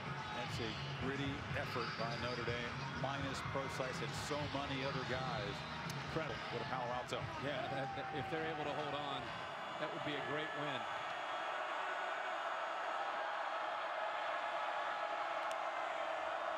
Mayfield trying to get the offense back on track after the three and out delivers a strike across the middle. And the catch made by Shepard, first down at the 45. Again, remember we talked about the versatility of Shepard. Watch him move in from the right, over the middle, right over top of the linebacker, and a really good throw. It was actually a safety Sterns, a great throw. Nice job sitting in the pocket, though. Had the drop in the last series, but he has six catches tonight. And the short touchdown from Mayfield early. The versatility is when you can beat man coverage the way Shepard can, and then the recognition of zone and where that soft spot is in the zone coverage the way he did right there. Oh, Perine is down on the field for the Sooners. Couldn't see what happened to him. Carried the ball and uh, was, was tackled roughly in there. They're looking at that Same leg. ankle that's been bothering him. Vincent Taylor looks like brought him down and another one of those situations where his leg looked like it got caught underneath Taylor when he brought him down. Take a break. Saturday Night Football, presented by Walmart. Stop by a store or visit us at walmart.com to share wonder every day. The 2016 Ford Explorer. Be unstoppable. And Chick-fil-A. We didn't invent the chicken, just the chicken sandwich. Pylon cam view of Oklahoma's big plays tonight. Samaje Perine did sort of hobble off on his own trainers huddling around him. He had a left ankle problem last game. Let's focus on that lower leg right there. Did not look good as he was brought down in that last carry. And with this big a lead, you, you just want to, no matter, even if he feels like last week he went out and came back, you'd like to just see him able to just take the rest of the night off. Mayfield flips it to Shepard and gets a block on the edge and darts out first down inside the 45 to Tom. Clearly in a lot of pain down here, but right in front of me came and slammed the helmet down in frustration. As you said, it's that left ankle, which was already heavily taped, the problem that occurred last week. In a lot of pain, medical staff around him right now, pounding the bench right now in frustration as much as physical pain as Perine. Thank you, Tom. He's a guy with a high pain threshold, Perine. And again, this same ankle bothering him. The good news is that the Sooners stay on track here and win the game. They wouldn't play until New Year's Eve. The semifinals are New Year's Eve. So almost five weeks for all these guys to recover and get healthier.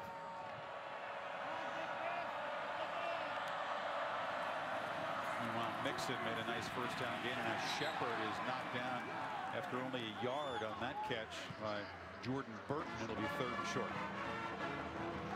These last six weeks for this uh, OU offense, you know, Perine and Mixon and Mayfield and Sterling Shepard get most of the attention, but I really think Dru Samia being moved into right tackle, the true freshman. The offensive line is also really settled in and become really become a strength for this offense. They got outplayed that afternoon against Texas.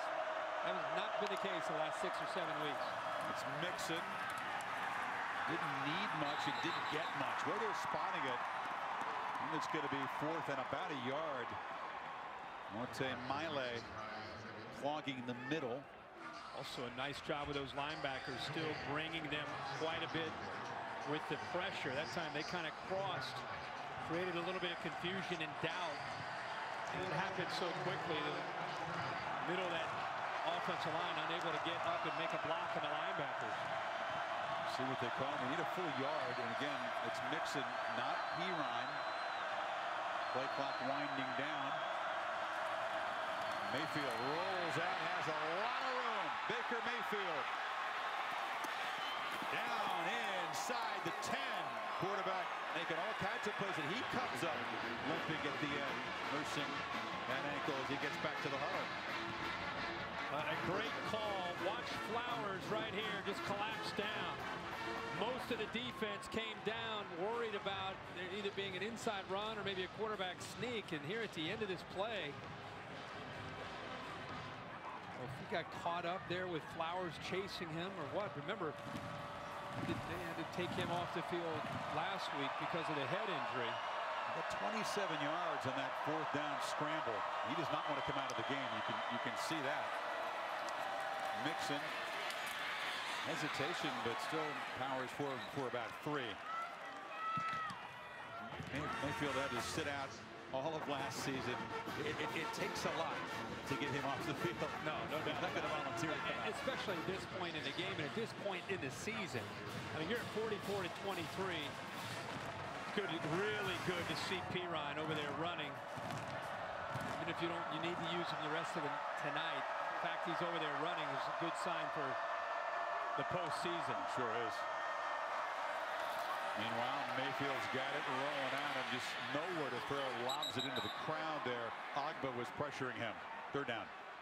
But you're right about Baker Mayfield not wanting to come off the field. I mean, like like anybody, but especially him, especially after everything that he's been through as an individual throughout his career. And have this team so close on the brink of a Big 12 championship after Bob Stoops and the Sooners were 8 and 5. Just frustrated.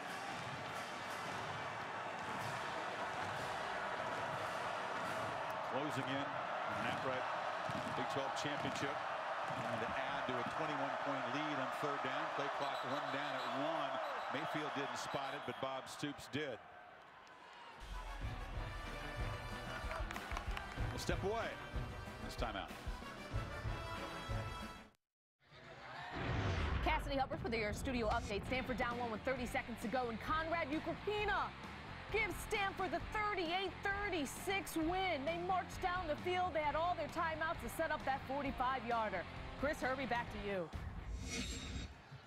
Cassidy, thank you. Hogan, a terrific game for the Cardinal. That last drive aided by a hands to the face penalty against the Irish. What a heartbreaker for Notre Dame. And you could scratch the Irish from the list of playoff contenders. What a great game loss. Cassidy has. Sitting back, doing all these great updates, watching all those games. Did a great job of the updates. There is. Oklahoma now on third down. Mayfield hesitated briefly, breaks away, and scores. You get a deny Baker Mayfield. Limping around, stays in there and scores. Yeah, they brought a blitz from out here with Burton. He almost comes up with a big play. They took a chance by him stepping up right there. Once he stepped up, he had the speed and the awareness to get it to the corner. There's a great look at it right there. Jordan Burton, the junior college transfer, came so close to making that play in the backfield, but Great awareness by Baker Mayfield, and he puts more points up on the board. I think that quarterback actually enjoyed the big hit from Whitener at the end of the play. Yeah, it made it better for him. Throw for two, run for one. Another reminder to get you ready for Week 12 tomorrow on ESPN. The Insiders at 10 o'clock Eastern Time.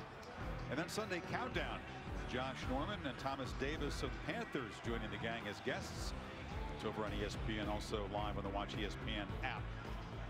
Baker Mayfield in his final game this season, certainly getting consideration from the Heisman voters. And they'll have to remember this performance when they fill out their ballots. And then he'll have to hope that he appears on enough of the balance to become at least a finalist, if not the winner of the trophy. And he said it would be a very cool experience just to be considered. You begin to weigh the different quarterback circle. We'll talk more about it as the second half unfolds. Very different kinds of players. Mayfield bringing a lot of intangibles to go with the arm and the running ability. This is Jhajuan Seals now back returning this kick for the Cowboys. And he is spun down, knocked down at the 28. This is the statistical part of it. If you look at Mayfield versus the recent Heisman winning quarterbacks, his completion percentage as good as just about any of them. Passing yards, very comparable. Total touchdowns right there. This is Mayfield stats with you know, some more time to play in this game versus the other guys through 12 games. Yeah, and not only that, Chris, I think when you look at each of these individuals, they, they all brought a little bit something different to the table beyond the numbers. And I think with Baker Mayfield, he brings that. And you've seen it tonight again. We've talked all night, seems like the last few weeks about it, but the team feeds off of his energy. They believe in him. Walsh, incomplete pass. And sometimes when you're talking about a Heisman Trophy, for me personally, when I vote, I, am looking for those kind of things. I'm looking for the leadership. I'm looking for the intangibles. I'm, I'm looking for a guy that just has a way of his team looking to him say, okay, go make a play. We believe in you. And Baker Mayfield's been doing that. It started for me when I saw him play against Tennessee in a hostile environment against the Volunteers, and they had a hole. They were able to dig out of it, come back and win that game in overtime. That's when I started to really say, boy, this number six, he's got a little bit of a different feel to him at quarterback for the Sooners. Had a couple picks in that game in Knoxville as they climbed out of a 17-0 hole.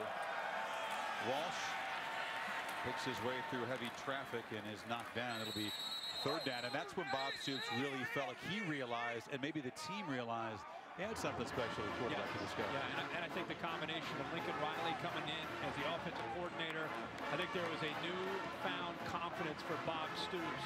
Lincoln Riley, there he is right there, coming over from East Carolina. Combination of Lincoln Riley calling the plays. Baker Mayfield had to sit out last year after transferring from Texas Tech. We knew about Perine and Mixon in the backfield. It's just a, it's a, a perfect mix right now with what they're doing for this offense. Walsh needs three on third down and delivers a long throw. And the catch is made there by Marcell Ateman, who hasn't really been active tonight. He's a speedy wide receiver, but he's been contained by the Sooner secondary. Yeah, he, he is a big body at 6'4", 210 pounds. One of the more physical blockers you'll see, and I don't know if that football touched the surface or not. It doesn't look like they're going to stop. Oh, looks like they are. The previous play is under further review.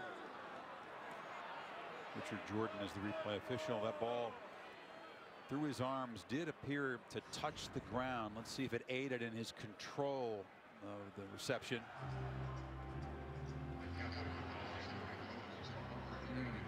It's a tough, tough look right there. Let's bring in Dave Cutaia. The point of the ball did seem to touch the ground. Dave, what, what's your take on this? It's a tough look, but it does look like the point of that ball touches the ground and it does move. But again, I don't know that if that look is definitive enough for them to change this upstairs. Maybe we'll get a, get a better look here. We'll zoom it in, Dave. This is the best look at it, but lost the, the part of the ball right there. You can see the point of the ball appear to move, but again, I'm not sure that's going to be enough for them to change it. It, it may be. It's a big review for the Cowboys' faint hopes here. It'll be fourth and five if it is overturned, as opposed to a first down of their 46. You know, Dave, for me, when, when I and let's take another look at it.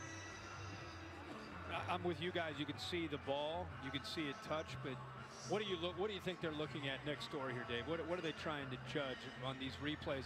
None of none of these replays yet make me feel like, okay, I could definitely, without a question of a doubt, I can make a call here on what happened. I agree with you. I don't see anything that's 100% here.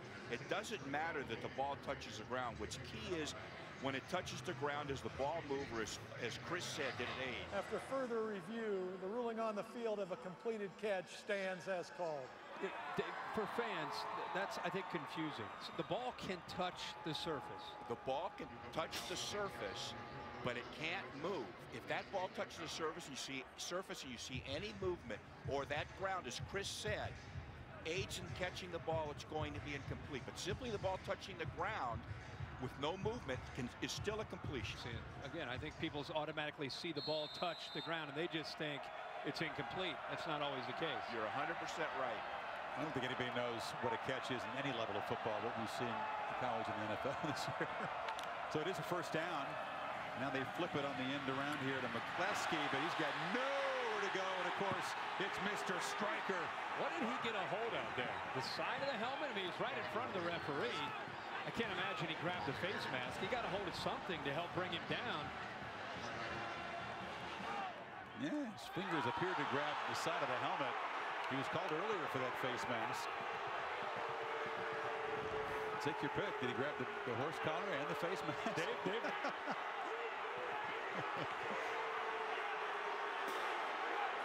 Crowd booing because it, it wasn't flagged right up there in plain view. But another big play made by Striker. Even if he didn't get away with it.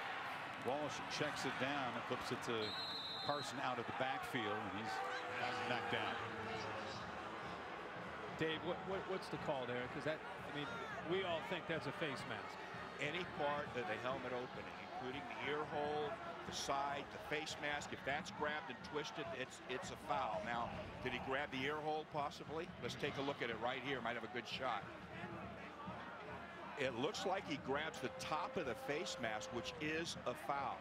Okay, it doesn't have to be the face mask. Any helmet open, including the top of the face mask. Thank you. He had the shield on there, so perhaps the top of the shield counts. Third and eight. Walsh for Washington, and Sanchez in a jump ball. Washington wins that battle again. And the Pokes are down inside the 25.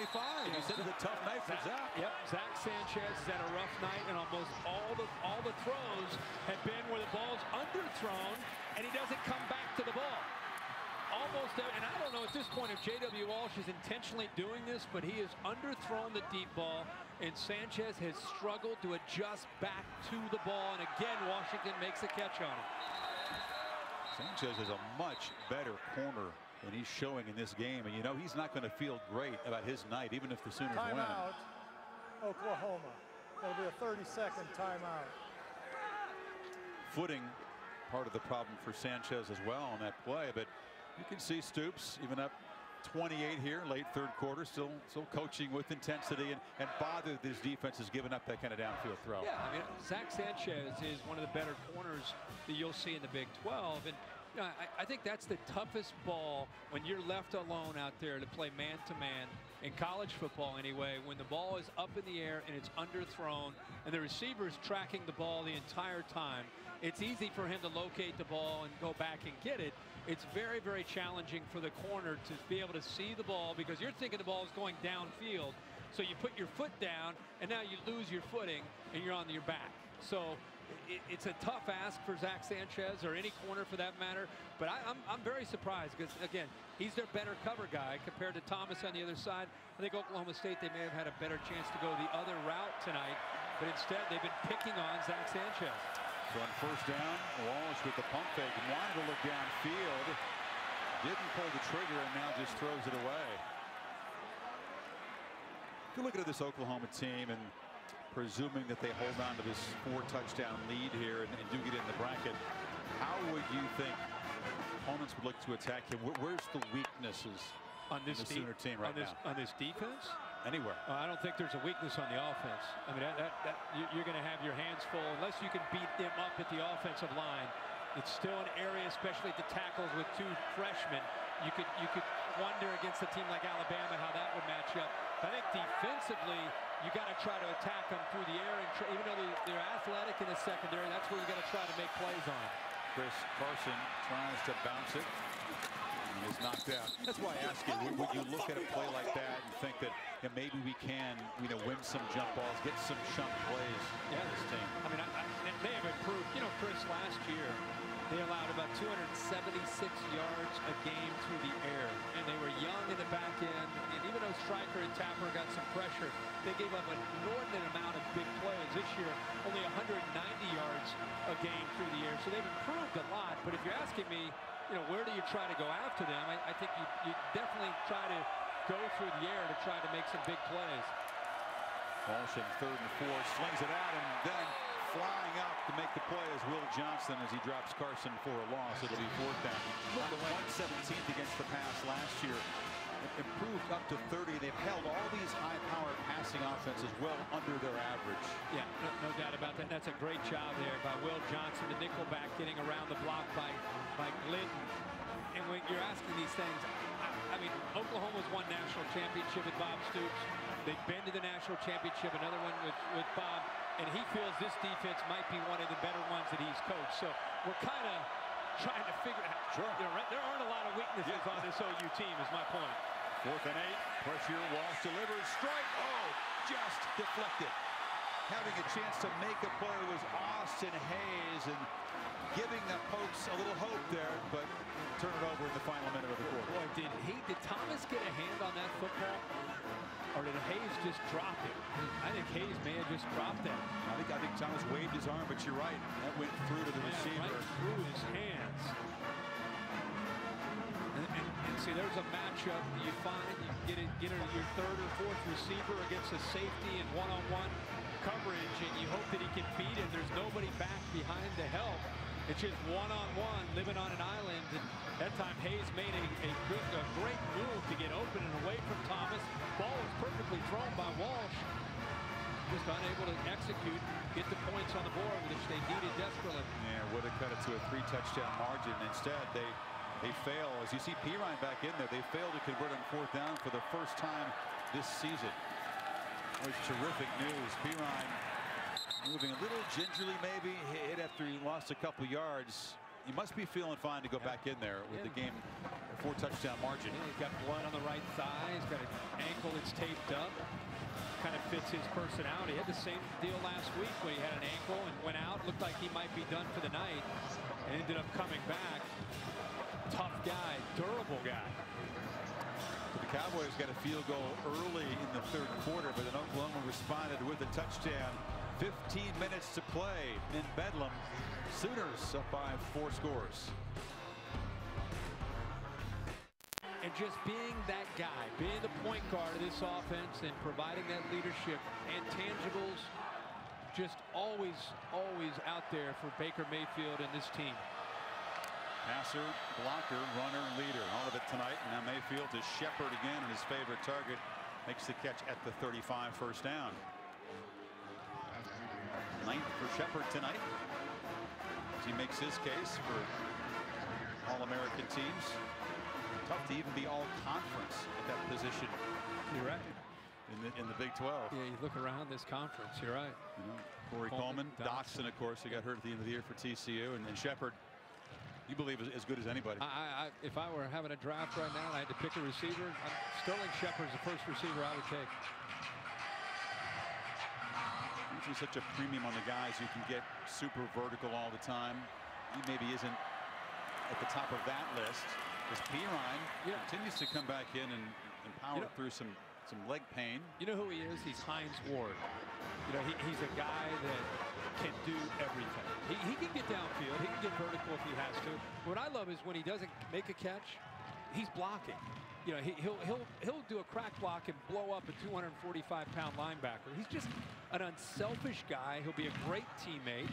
Uh, just a guy that, uh, and he does everything. Recognizes man, recognizes zone, cover two, cover one, man, whatever you're playing, he sees it because of the experience that he has, and just got, he just really has a knack for making plays. Sooners using the play clock, snapping with one, and it's Perine again. Of course, Shepard grew up around this program. His dad was a Sooner player, and I think one of the favorites of this position late Derrick Shepard, part of that championship team in 85.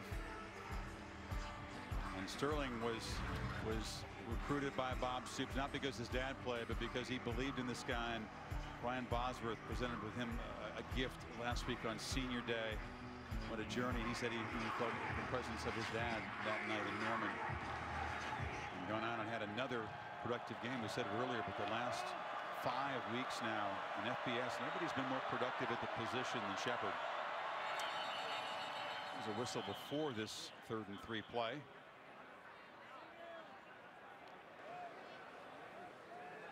Delay a game. I'm going to come in and talk about it. Delay game off a timeout. Prior to the foul for delay a game, Oklahoma has called timeout. That'll be a 30, that'll be a full timeout. I really want to work the clock, but let's, let's keep things going. Take a break here.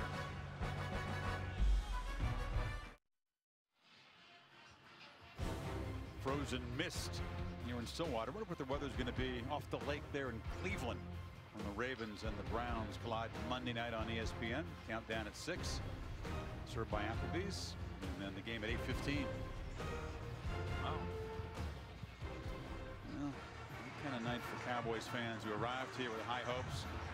Baylor goes down to TCU last night, and they got excited because the conference title was there for the taking tonight, but it's been Oklahoma that has emphatically grabbed control. Third down and a lot of time to discuss this play, and they decided to give it to Mayfield on the keeper, and why not? Gets midfield and just slides down in this now wet rug and then move the sticks. Yeah, there, there's the read again, and Maile 56 has no chance of being able to get out there. And that's who Baker Mayfield is reading. Does a good job. Stays in bounds. Picks up the first down. Keeps the clock moving. Flowers comes around the corner to block somebody. There wasn't any, nobody to block. No, they all collapse down on the zone read. Now Oklahoma starts to work this clock. They can forget about the tempo and protecting a, a four touchdown lead. Mayfield up under center just for the sake of variety. Handles to Perine and he'll actually lose a yard. I'll be honest, I'm really surprised. I mean, I, I you got to love his competitive spirit. Very surprised that Samaje Perine is out there. Now, it's remember, there, there, there's not a Big 12 championship game that they need to. Now, this was it. You know, this is it. I mean, this is it. So you can you can understand it, and he knows his own body better than anybody. But I'm just four touchdown lead. You're looking at probably a top four bid, more than likely. Uh, you know, got some time to get rested up. Respect the fact that he wants to be on this field to secure a Big 12 championship, too. Got 131, so he's over 3,000 career yards combined in his first two seasons. Shepard, the catch made, a stiff arm, has to break free, wrestled down at the 46. It'll be third down. Well, after the ball game, except on the West Coast, late local news, most of these ABC stations. ESPN have Sports Center highlights from another busy day in college football. Plenty of discussion as we move within one week of the playoff selection committee's final verdict. The bracket of four teams to play in the semifinals New Year's Eve in Miami and Arlington. Sooners have so far with 11 minutes to play made a very strong statement about their worthiness no doubt about that snap it at one and Mayfield flips it and Shepard dropped that one. So he's had a couple drops tonight to go with his 10 catches, and the Sooners will punt.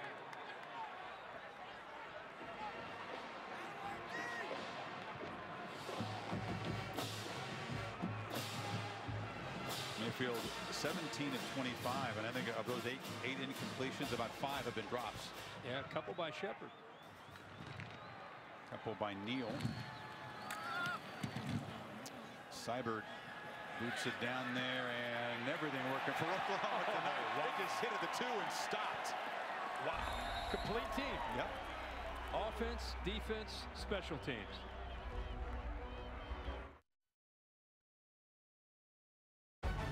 Saturday Night Football, presented by Walmart. Brought to you by Pacific Life. For life insurance, annuities, and investments, choose Pacific Life, the power to help you succeed. Dr. Pepper. Dr. Pepper and college football. It's a one-of-a-kind tradition. And Jiffy Lube. Experts around every corner to help you leave worry behind. All the emotion of senior night for J.W. Walsh. Seems like a long time ago. And a 10-7 lead with the Cowboys, and Oklahoma went on a tear. They have continued to exert dominance here after halftime. Stretching the lead to 28. Cowboys pin back at their three.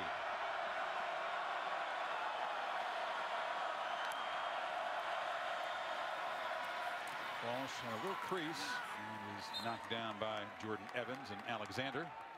You know, the defensive line from Oklahoma with Tapper and Matt Dimon, Eric Striker we know about. We've seen Devante Bond tonight, tonight as well. DJ Ward's had opportunities, Charles Walker very, very talented group. Good mixture of size and athletic ability and experience. Very, very tough up front.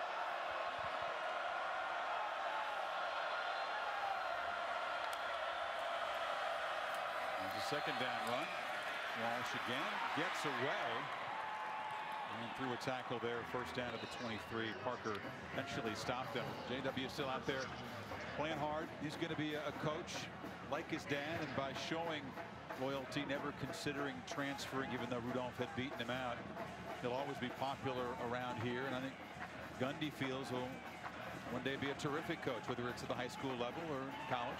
It'd be interesting to see which choice he makes because of his dad and his background. And talking to the coaches this week, they, they think it would surprise them to see him want to coach in college. And with his legacy and what he's done here in these last four years, he'll be a great addition. Drop down. I like Gundy, who played his four years here, then went right into coaching at a very young age, play caller at a very young age, much like Lincoln Riley is on the other side tonight. Gundy already a dozen years on the job. He can't believe how fast the time's gone. 48 years old now. And you, you and I were talking to him this week, and I said, you know, I don't know, this year's a little bit of a surprise for them to get to 10 wins. But he's done a really good job of maintaining consistency at this, at this, this school and what he's been able to achieve. No doubt. Walsh downfield.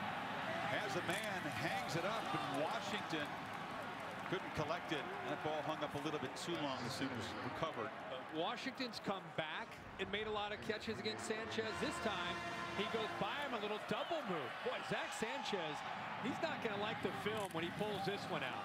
And he's lucky because the, ball hung up in the air and allowed the, the safety Parker to come over and help out.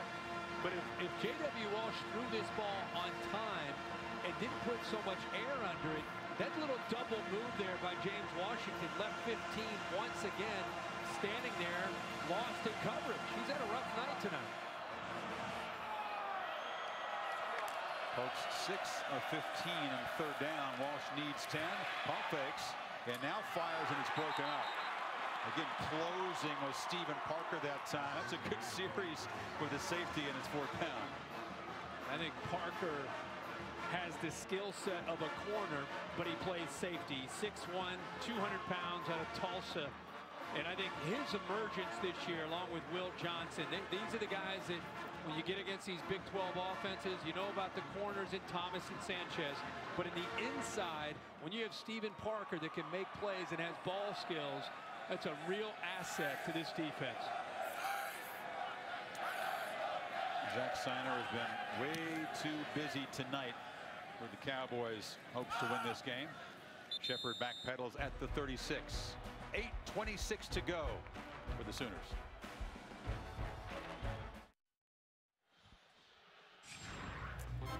Checking out the LG V10 moments of the week. Will begin last night. That sloppy wild game in Fort Worth.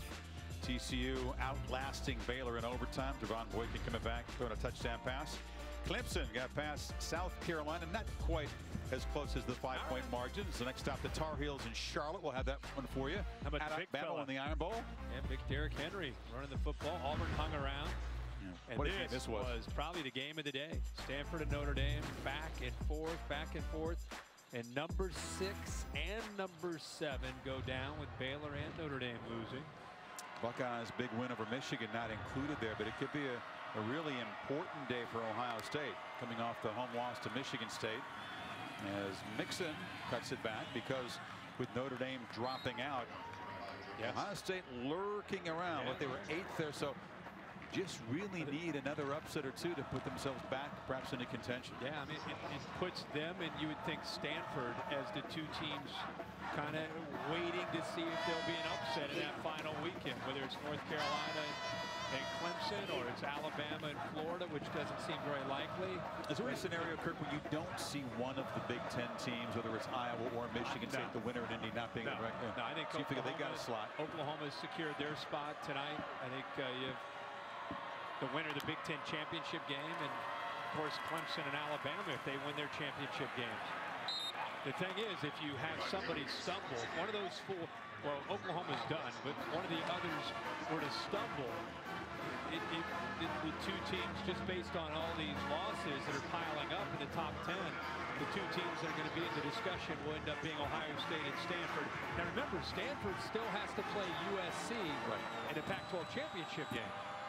And if they if they were to lose that, I think the only team left might be old Urban Meyer and Ohio State hanging around out there. Free play. Cowboys jumped offside, and Westbrook just over his fingertips. But Mayfield knew he had a shot downfield. The penalty is going to be against the Cowboys and should give Oklahoma a first down here. Baker was disappointed. He wanted that deep sure shot there. Offside. Defense number 94. Five-yard penalty results in a first down. Jordan Welford jumped off.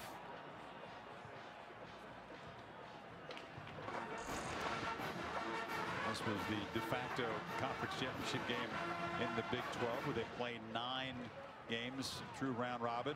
You and I will be in Charlotte for Clemson yep. in North Carolina with our crew. Can't wait for that. It's a it's a sellout. It's a, oh, it's going to be fun. Tar Heels, just the one loss, say they are completely overlooked and they feel disrespected. But the early loss to South Carolina, the, the other two soft non-conference games, eroding some of their credibility, but it's been a terrific year for the Tar Heels as Mixon makes a cut, shakes free, and bulldozes down to the 41.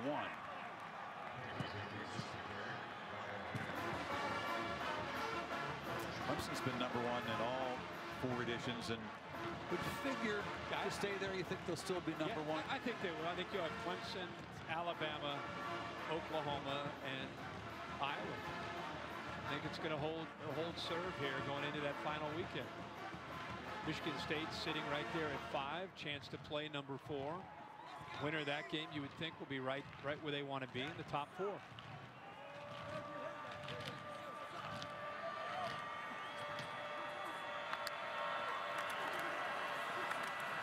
This is Mixon again. Down at the 35. Bob Stoops still electing to keep his starters in. Again, not having one graphic we didn't have, or one part of the graphic we didn't have, as we you talked about. No, no longer having the Big 12 championship game, so there's nothing to worry about. They're playing for the Big 12 championship right now, and these players don't want to come out of the lineup. They want to keep playing. Bob's got his assignment. He and Mike Gundy and their staffs, of course, will head out and begin recruiting tomorrow. It's about a nine-day recruiting period that you get the benefit of using if you don't play in the final weekend, and they will hit the trail hard looking for the next crop of prospects. This is Mixon bulldozing straight ahead. Pacific Life game summary looking at what was the decisive quarter in this game, the 30 point quarter for the Sooners, which included the, the pick six from Jordan Thomas, some fireworks from the running game, Perine and Mixon with long touchdown runs in the first half. Stoops and Kirk Ferentz, interestingly, of Iowa, each in their 17th year, and with Frank Beamer retiring after this season. His Hokies did win at Virginia to secure a bowl bid. A terrific moment as Beamer, he, he, did, he dabbed a little bit. He get, went in the locker room and celebrated, was carried off the field. His 29th year, when he does retire, Ferentz and Stoops are next tenure at one school with 17 years, and perhaps both headed for the playoff if Iowa can knock off the Spartans next week. I wondered about that with uh, Frank Beamer stepping down. Boy, it's amazing. Bob Stoops, 17, 17 years. 178 closing in on 179 Oklahoma. For Baker Mayfield, he's a finalist for the Davy O'Brien Award, which will be awarded at the People Award Show in Atlanta this year. For the first time as Mixon bounces it, gets a first down, driven out inside the 15. Well, Tuesday night over on ESPN, a college hoops doubleheader, annual Big Ten ACC Challenge presented by United States Marine Corps, 7:30 Eastern, Cavaliers and the Buckeyes. And at 9:30, Maryland plays North Carolina. Used to be ACC rivals, of course, now part of the Big Ten ACC Challenge. Also streaming live on the Watch ESPN app. See the boys across the way still beating on the wall down there with the paddles. They're hmm. still they're still I working. don't think you're allowed to leave. If you're one of the paddle people there, I think you're required to, still, to stay. They're still banging away down there. I don't think the Sooners are phased. Mixon breaking free. Sometimes visitors will tell you that that, that noise, which is loud down there when Yeah. they get going, perhaps they're not as peppy as they, they have been at, at times in Well, the past. when you're up 28 with under four minutes to go, it's kind of a well, we got a job to do here. We're gonna we're gonna keep bouncing. We're gonna keep banging on this wall here. Feels like more chore than anything else, isn't it? that middle there. They're still here. No, I love break, it. Kirk Street. I appreciate it. We need the cannon guy here. You combine this group with the cannon guys. I mean, he's got out oh, here. he broke it. This dude on the right broke his, his paddle. Now he with no shirt, banging on the wall in a 28-point game. You're criticizing Mixon. No, I love it. Inside the five. I applaud it. It's incredible. It is incredible. It's a good word for it. Is that an assignment, or they just do that on their own? It's part of the club. There's a president of the club. It began in the 90s of his fraternity members Yeah, that, yeah, that did that. I, I don't know about the. But none of them have left. Is that a what is that? A reindeer? What is that? What's going on there? I don't know.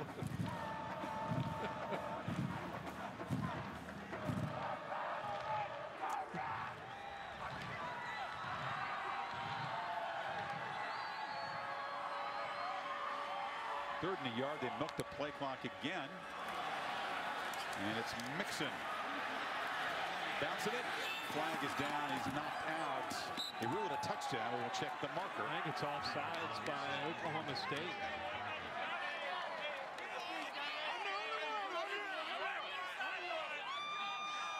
It's right in front of the Oklahoma band. They're getting a love, the Sooners.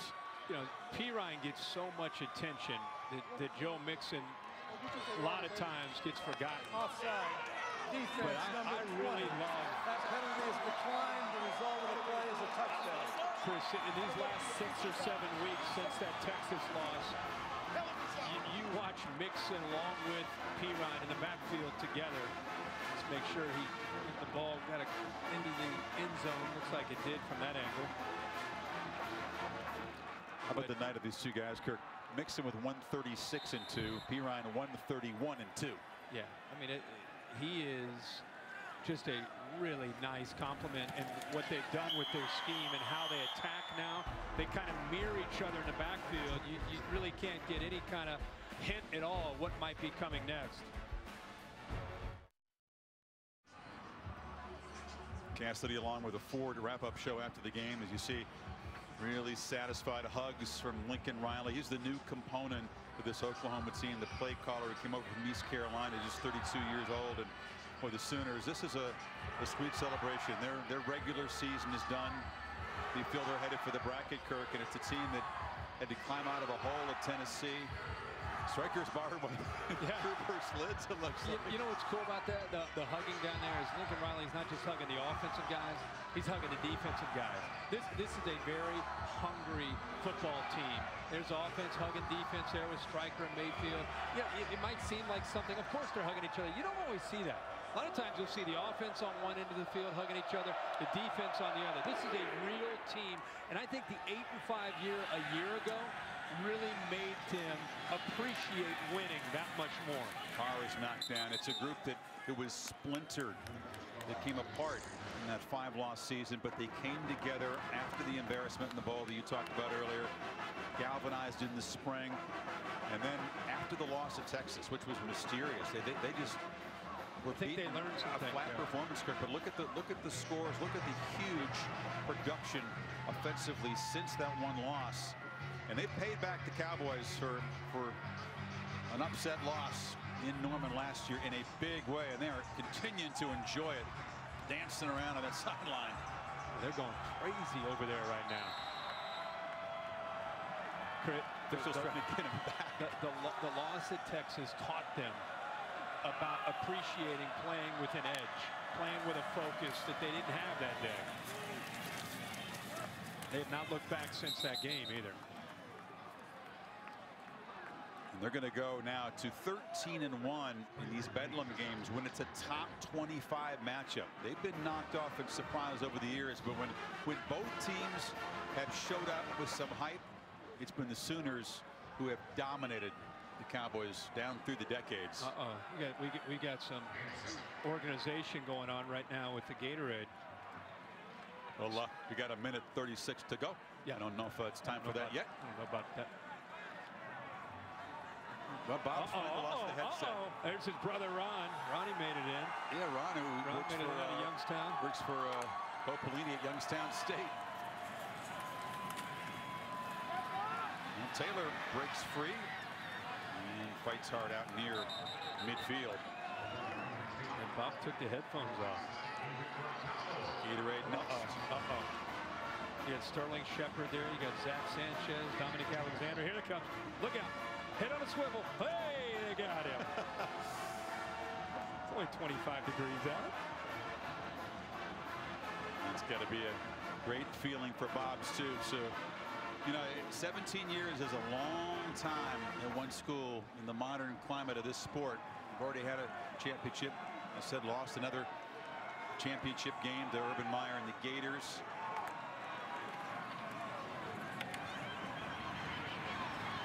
He came back and he got re-energized. Yeah. Feels better physically than he did a year ago. No doubt about it. Wait, wait you telling Coach Ryan that he did he elude this? Oh! Come on. Mayfield and Trevor Knight, the two quarterbacks couldn't get their OC. Incompletion. Nathan Riley's got to play along here. Cowboy down in the field. And Mike Stoops has come down out of the press box with a carry-on luggage slung over the shoulder there. Getting set for the charter home. All smiles for Oklahoma. A 25 point victory over their rivals from Stillwater. And 11 and 1 season. Feeling very, very good as they hit the recruiting trail tomorrow about their playoff chances coming in at number three, even before this high quality road win. AT&T strong performance looking at the backfield of Oklahoma tonight. Pretty good evening for Perine. Had the big run that really got him going, averaging almost eight yards a carry. Joe Mixon, with Perine having an ankle injury, got more and more of an opportunity in the second half, almost 10 yards a carry and a couple touchdowns himself and a big solid night again for Baker Mayfield. Chris Carson junior running back for Oklahoma State is the player who is being helped off to the sidelines. Oklahoma State. You know, you look at the stats, Kirk, in, in 450 yards. They, they weren't terribly outgained. Had six yards of play here. And, and J.W. Walsh on senior night with Rudolph unable to contribute much. His stats will look real good, but it was Oklahoma putting this thing away in the second quarter, really. Yes. Lenny Childs cuts it back. And the Sooners, first contender for this playoff to have their business concluded. Make this a bedlam beatdown to claim the Big 12 championship, their first since 2012. 5-0 this year against teams ranked in the AP top 25. A sweet one for all the veterans and the veteran coach. Shepard, a backflip to punctuate a night that included 10 receptions oh and a touchdown. Be careful. Let's get into Tom Rinaldi with a satisfied Coach Stoops. Chris, thanks very much. An absolutely thorough victory in every phase of the game, Bob. What message do you think this sends to the committee? Well, hopefully we were already in a, a, positive position in the what in the top three, and we can only move up, I would guess. And uh, really proud of our players and assistant coaches. Really did a great job. Eight and five a season ago to where you are right now, Bob. What was the key to this turnaround and this team coming together the way it has? You know, they've worked really hard. They've, uh, we've really pushed ourselves in practice. It's been a fun group. Really, they've got a great personality to them and, and uh, great willingness to listen. So it's been a great group, fun group to coach. Baker Mayfield, a great performance. What pleased you most, the block he threw or everything else he did? You know, that guy is special. He just does so many he, he's just so entertaining to watch, and, and there's no holding him back, you know. So uh, he had another incredible night out here. Enjoy this one, Bob. All right, Tom, thank you. Let's go to Heather with Baker. All right, Tom, thanks so much, Baker Mayfield. Congratulations. Big 12 champions for the first time since 2012. Now, your coach, Bob Stoops, has talked all season about the singular focus being the motto. How did you guys keep that focus and keep your mind on the task at hand tonight? It's been tough, but I mean, it's been a week-to-week -week thing, and, uh, and, our seniors and our captains have done a great job of keeping everybody else focused and, and focused on our goal, which was first the Big 12, and, and we're, we accomplished that right there. You have been on quite a journey. What makes this team, this run, everything that you've done this season just so special? We're really close. A lot of people don't know that, but uh, we're a really close team. And you don't see that a lot just because it's a college program and people come from every background, but we're really close and it's, it's fun when it's special like that.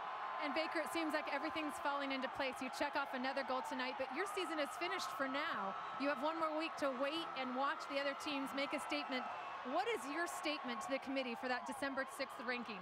Uh, we, we already had a nice little ranking in the playoff spot, but I think we just made a statement, so I don't see how they could leave us out. And you guys always talk about being so team-oriented and how important this team and the chemistry is, but there's also a certain individual award that's floating out there. It's called the Heisman. You've talked about how important it would be to, or how special it would be to get to go to New York. What would that mean to you? Uh, that's like a dream come true. That's something you watch as a kid. You grow up and you see you see that award show uh, every year, and you watch that. But I mean, I'm only going as far as the team goes. So I mean, hats off to all my teammates and the coaching staff for getting us ready and winning. Well, congratulations on another gutsy performance. Speaking of the team, Tom Rinaldi's over there with Mr. Shepard. Heather, thanks a lot. Sterling, how special is this? So special. I was telling the guys before the game, uh, I came in as a freshman and I won one and haven't had the feeling since, and I'd love to have it again, and boy, it feels good. Your dad played here. He played in these games. He went on to win a national championship. How special is this moment, given your family's legacy and part of the Sooner family? Yeah, I mean, I, throughout my whole career, all I try to do is just keep the legacy going, and uh, I think I've done a pretty good job of it so far. What lies ahead now? Hey, we got to get prepared. We got some tough teams uh, that, that are coming up, and we got to finish this thing out strong.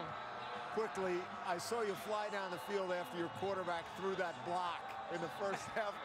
what made, what pleased you about that play? What can you say about him as a leader? Man, my boy's a competitor, uh, and he's not scared of anything. I mean, I, I, know you guys heard him say that before, but he's not scared of anything. He'll go throw blocks, run people over. It doesn't matter. He's he's ruthless.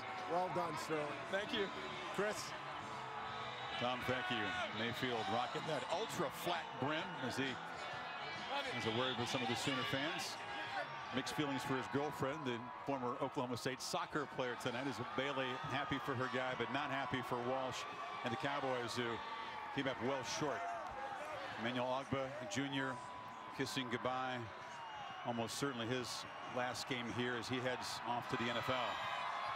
Perine, who got a scare with that ankle injury, but came back to finish the game as well as Mixon. And, you know, listen, there, there's no shortage of high-quality talent on Oklahoma's team, but Mayfield and Shepard Kirk both reiterated what we've heard from all of these leaders. You can include Eric Striker in that. Yeah, there's talent, but you need more. And this team has that something more, that, that togetherness, that chemistry that the championship teams search for and don't always find. They're hungry. They're a hungry football team after everything that they've been through. There have been people that have mocked Bob Stoops in the last few years. They've mocked these players. They've talked about Oklahoma's kind of a program of the past. They've, they've felt that. There are a lot of guys that are seniors on this team that I think drive the bus. I, I, I just, I don't know if I've seen another team in the country that has the love for one another the way this Oklahoma team does. Uh, it's one thing to look at the stats and be impressed with the quarterback and the running backs and the receivers and the defense, but I love to watch this team care and cheer for one another. We saw Ohio State make a heck of a run last year when they didn't care about who was getting the attention. They just cheered for one another and genuinely loved one another. This Oklahoma team, championship teams have that kind of feel. That's what I sense when I've been around this Sooners team. The committee had Oklahoma State at number 11. So Oklahoma comes in here, wins by 25 points. Bob Stoops didn't campaign at the end because he didn't felt he needed to. Oklahoma makes their statement and again has their regular season complete. So they will be able to sit back and watch Clemson, Alabama, and that Big Ten championship game, which figures to feed in one of the teams into the 14 bracket, knowing they've got a place. And if they don't move up to number one, two and three will collide in one semifinal.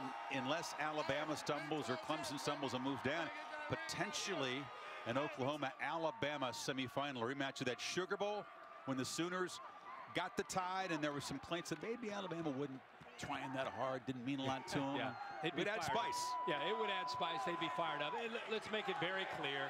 Oklahoma will advance. They're going to be in the four, whether they're going to be two or three or one or whatever they're going to be. You just know as a Sooners fan tonight that you're going to be in the postseason in the top four. So much for that, that myth last year about the Big 12 needs a conference championship game to be able to advance into the top four. This year we see Oklahoma without a, a championship game being able to be crowned the champion of the Big 12.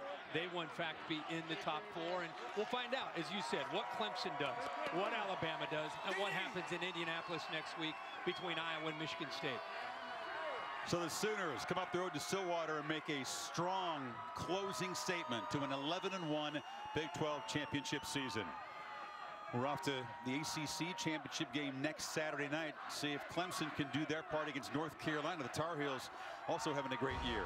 A big salute to our crew, which once again here in Stillwater battled some tough weather conditions. The, the road warriors that we have, we appreciate what yeah. they do. All year long, you guys have meant so much to us uh, on air. So thank you very much for all your hard work. And of course, the talented crew in the truck. Bill Bonnell, our producer. Derek Mobley, our director. And everybody who's helped us on Saturday Night Football. For Kirk, Heather, and Tom, Chris Fowler saying so long from Stillwater. The Ford wrap-up show coming up right now with Cassidy Hubbard.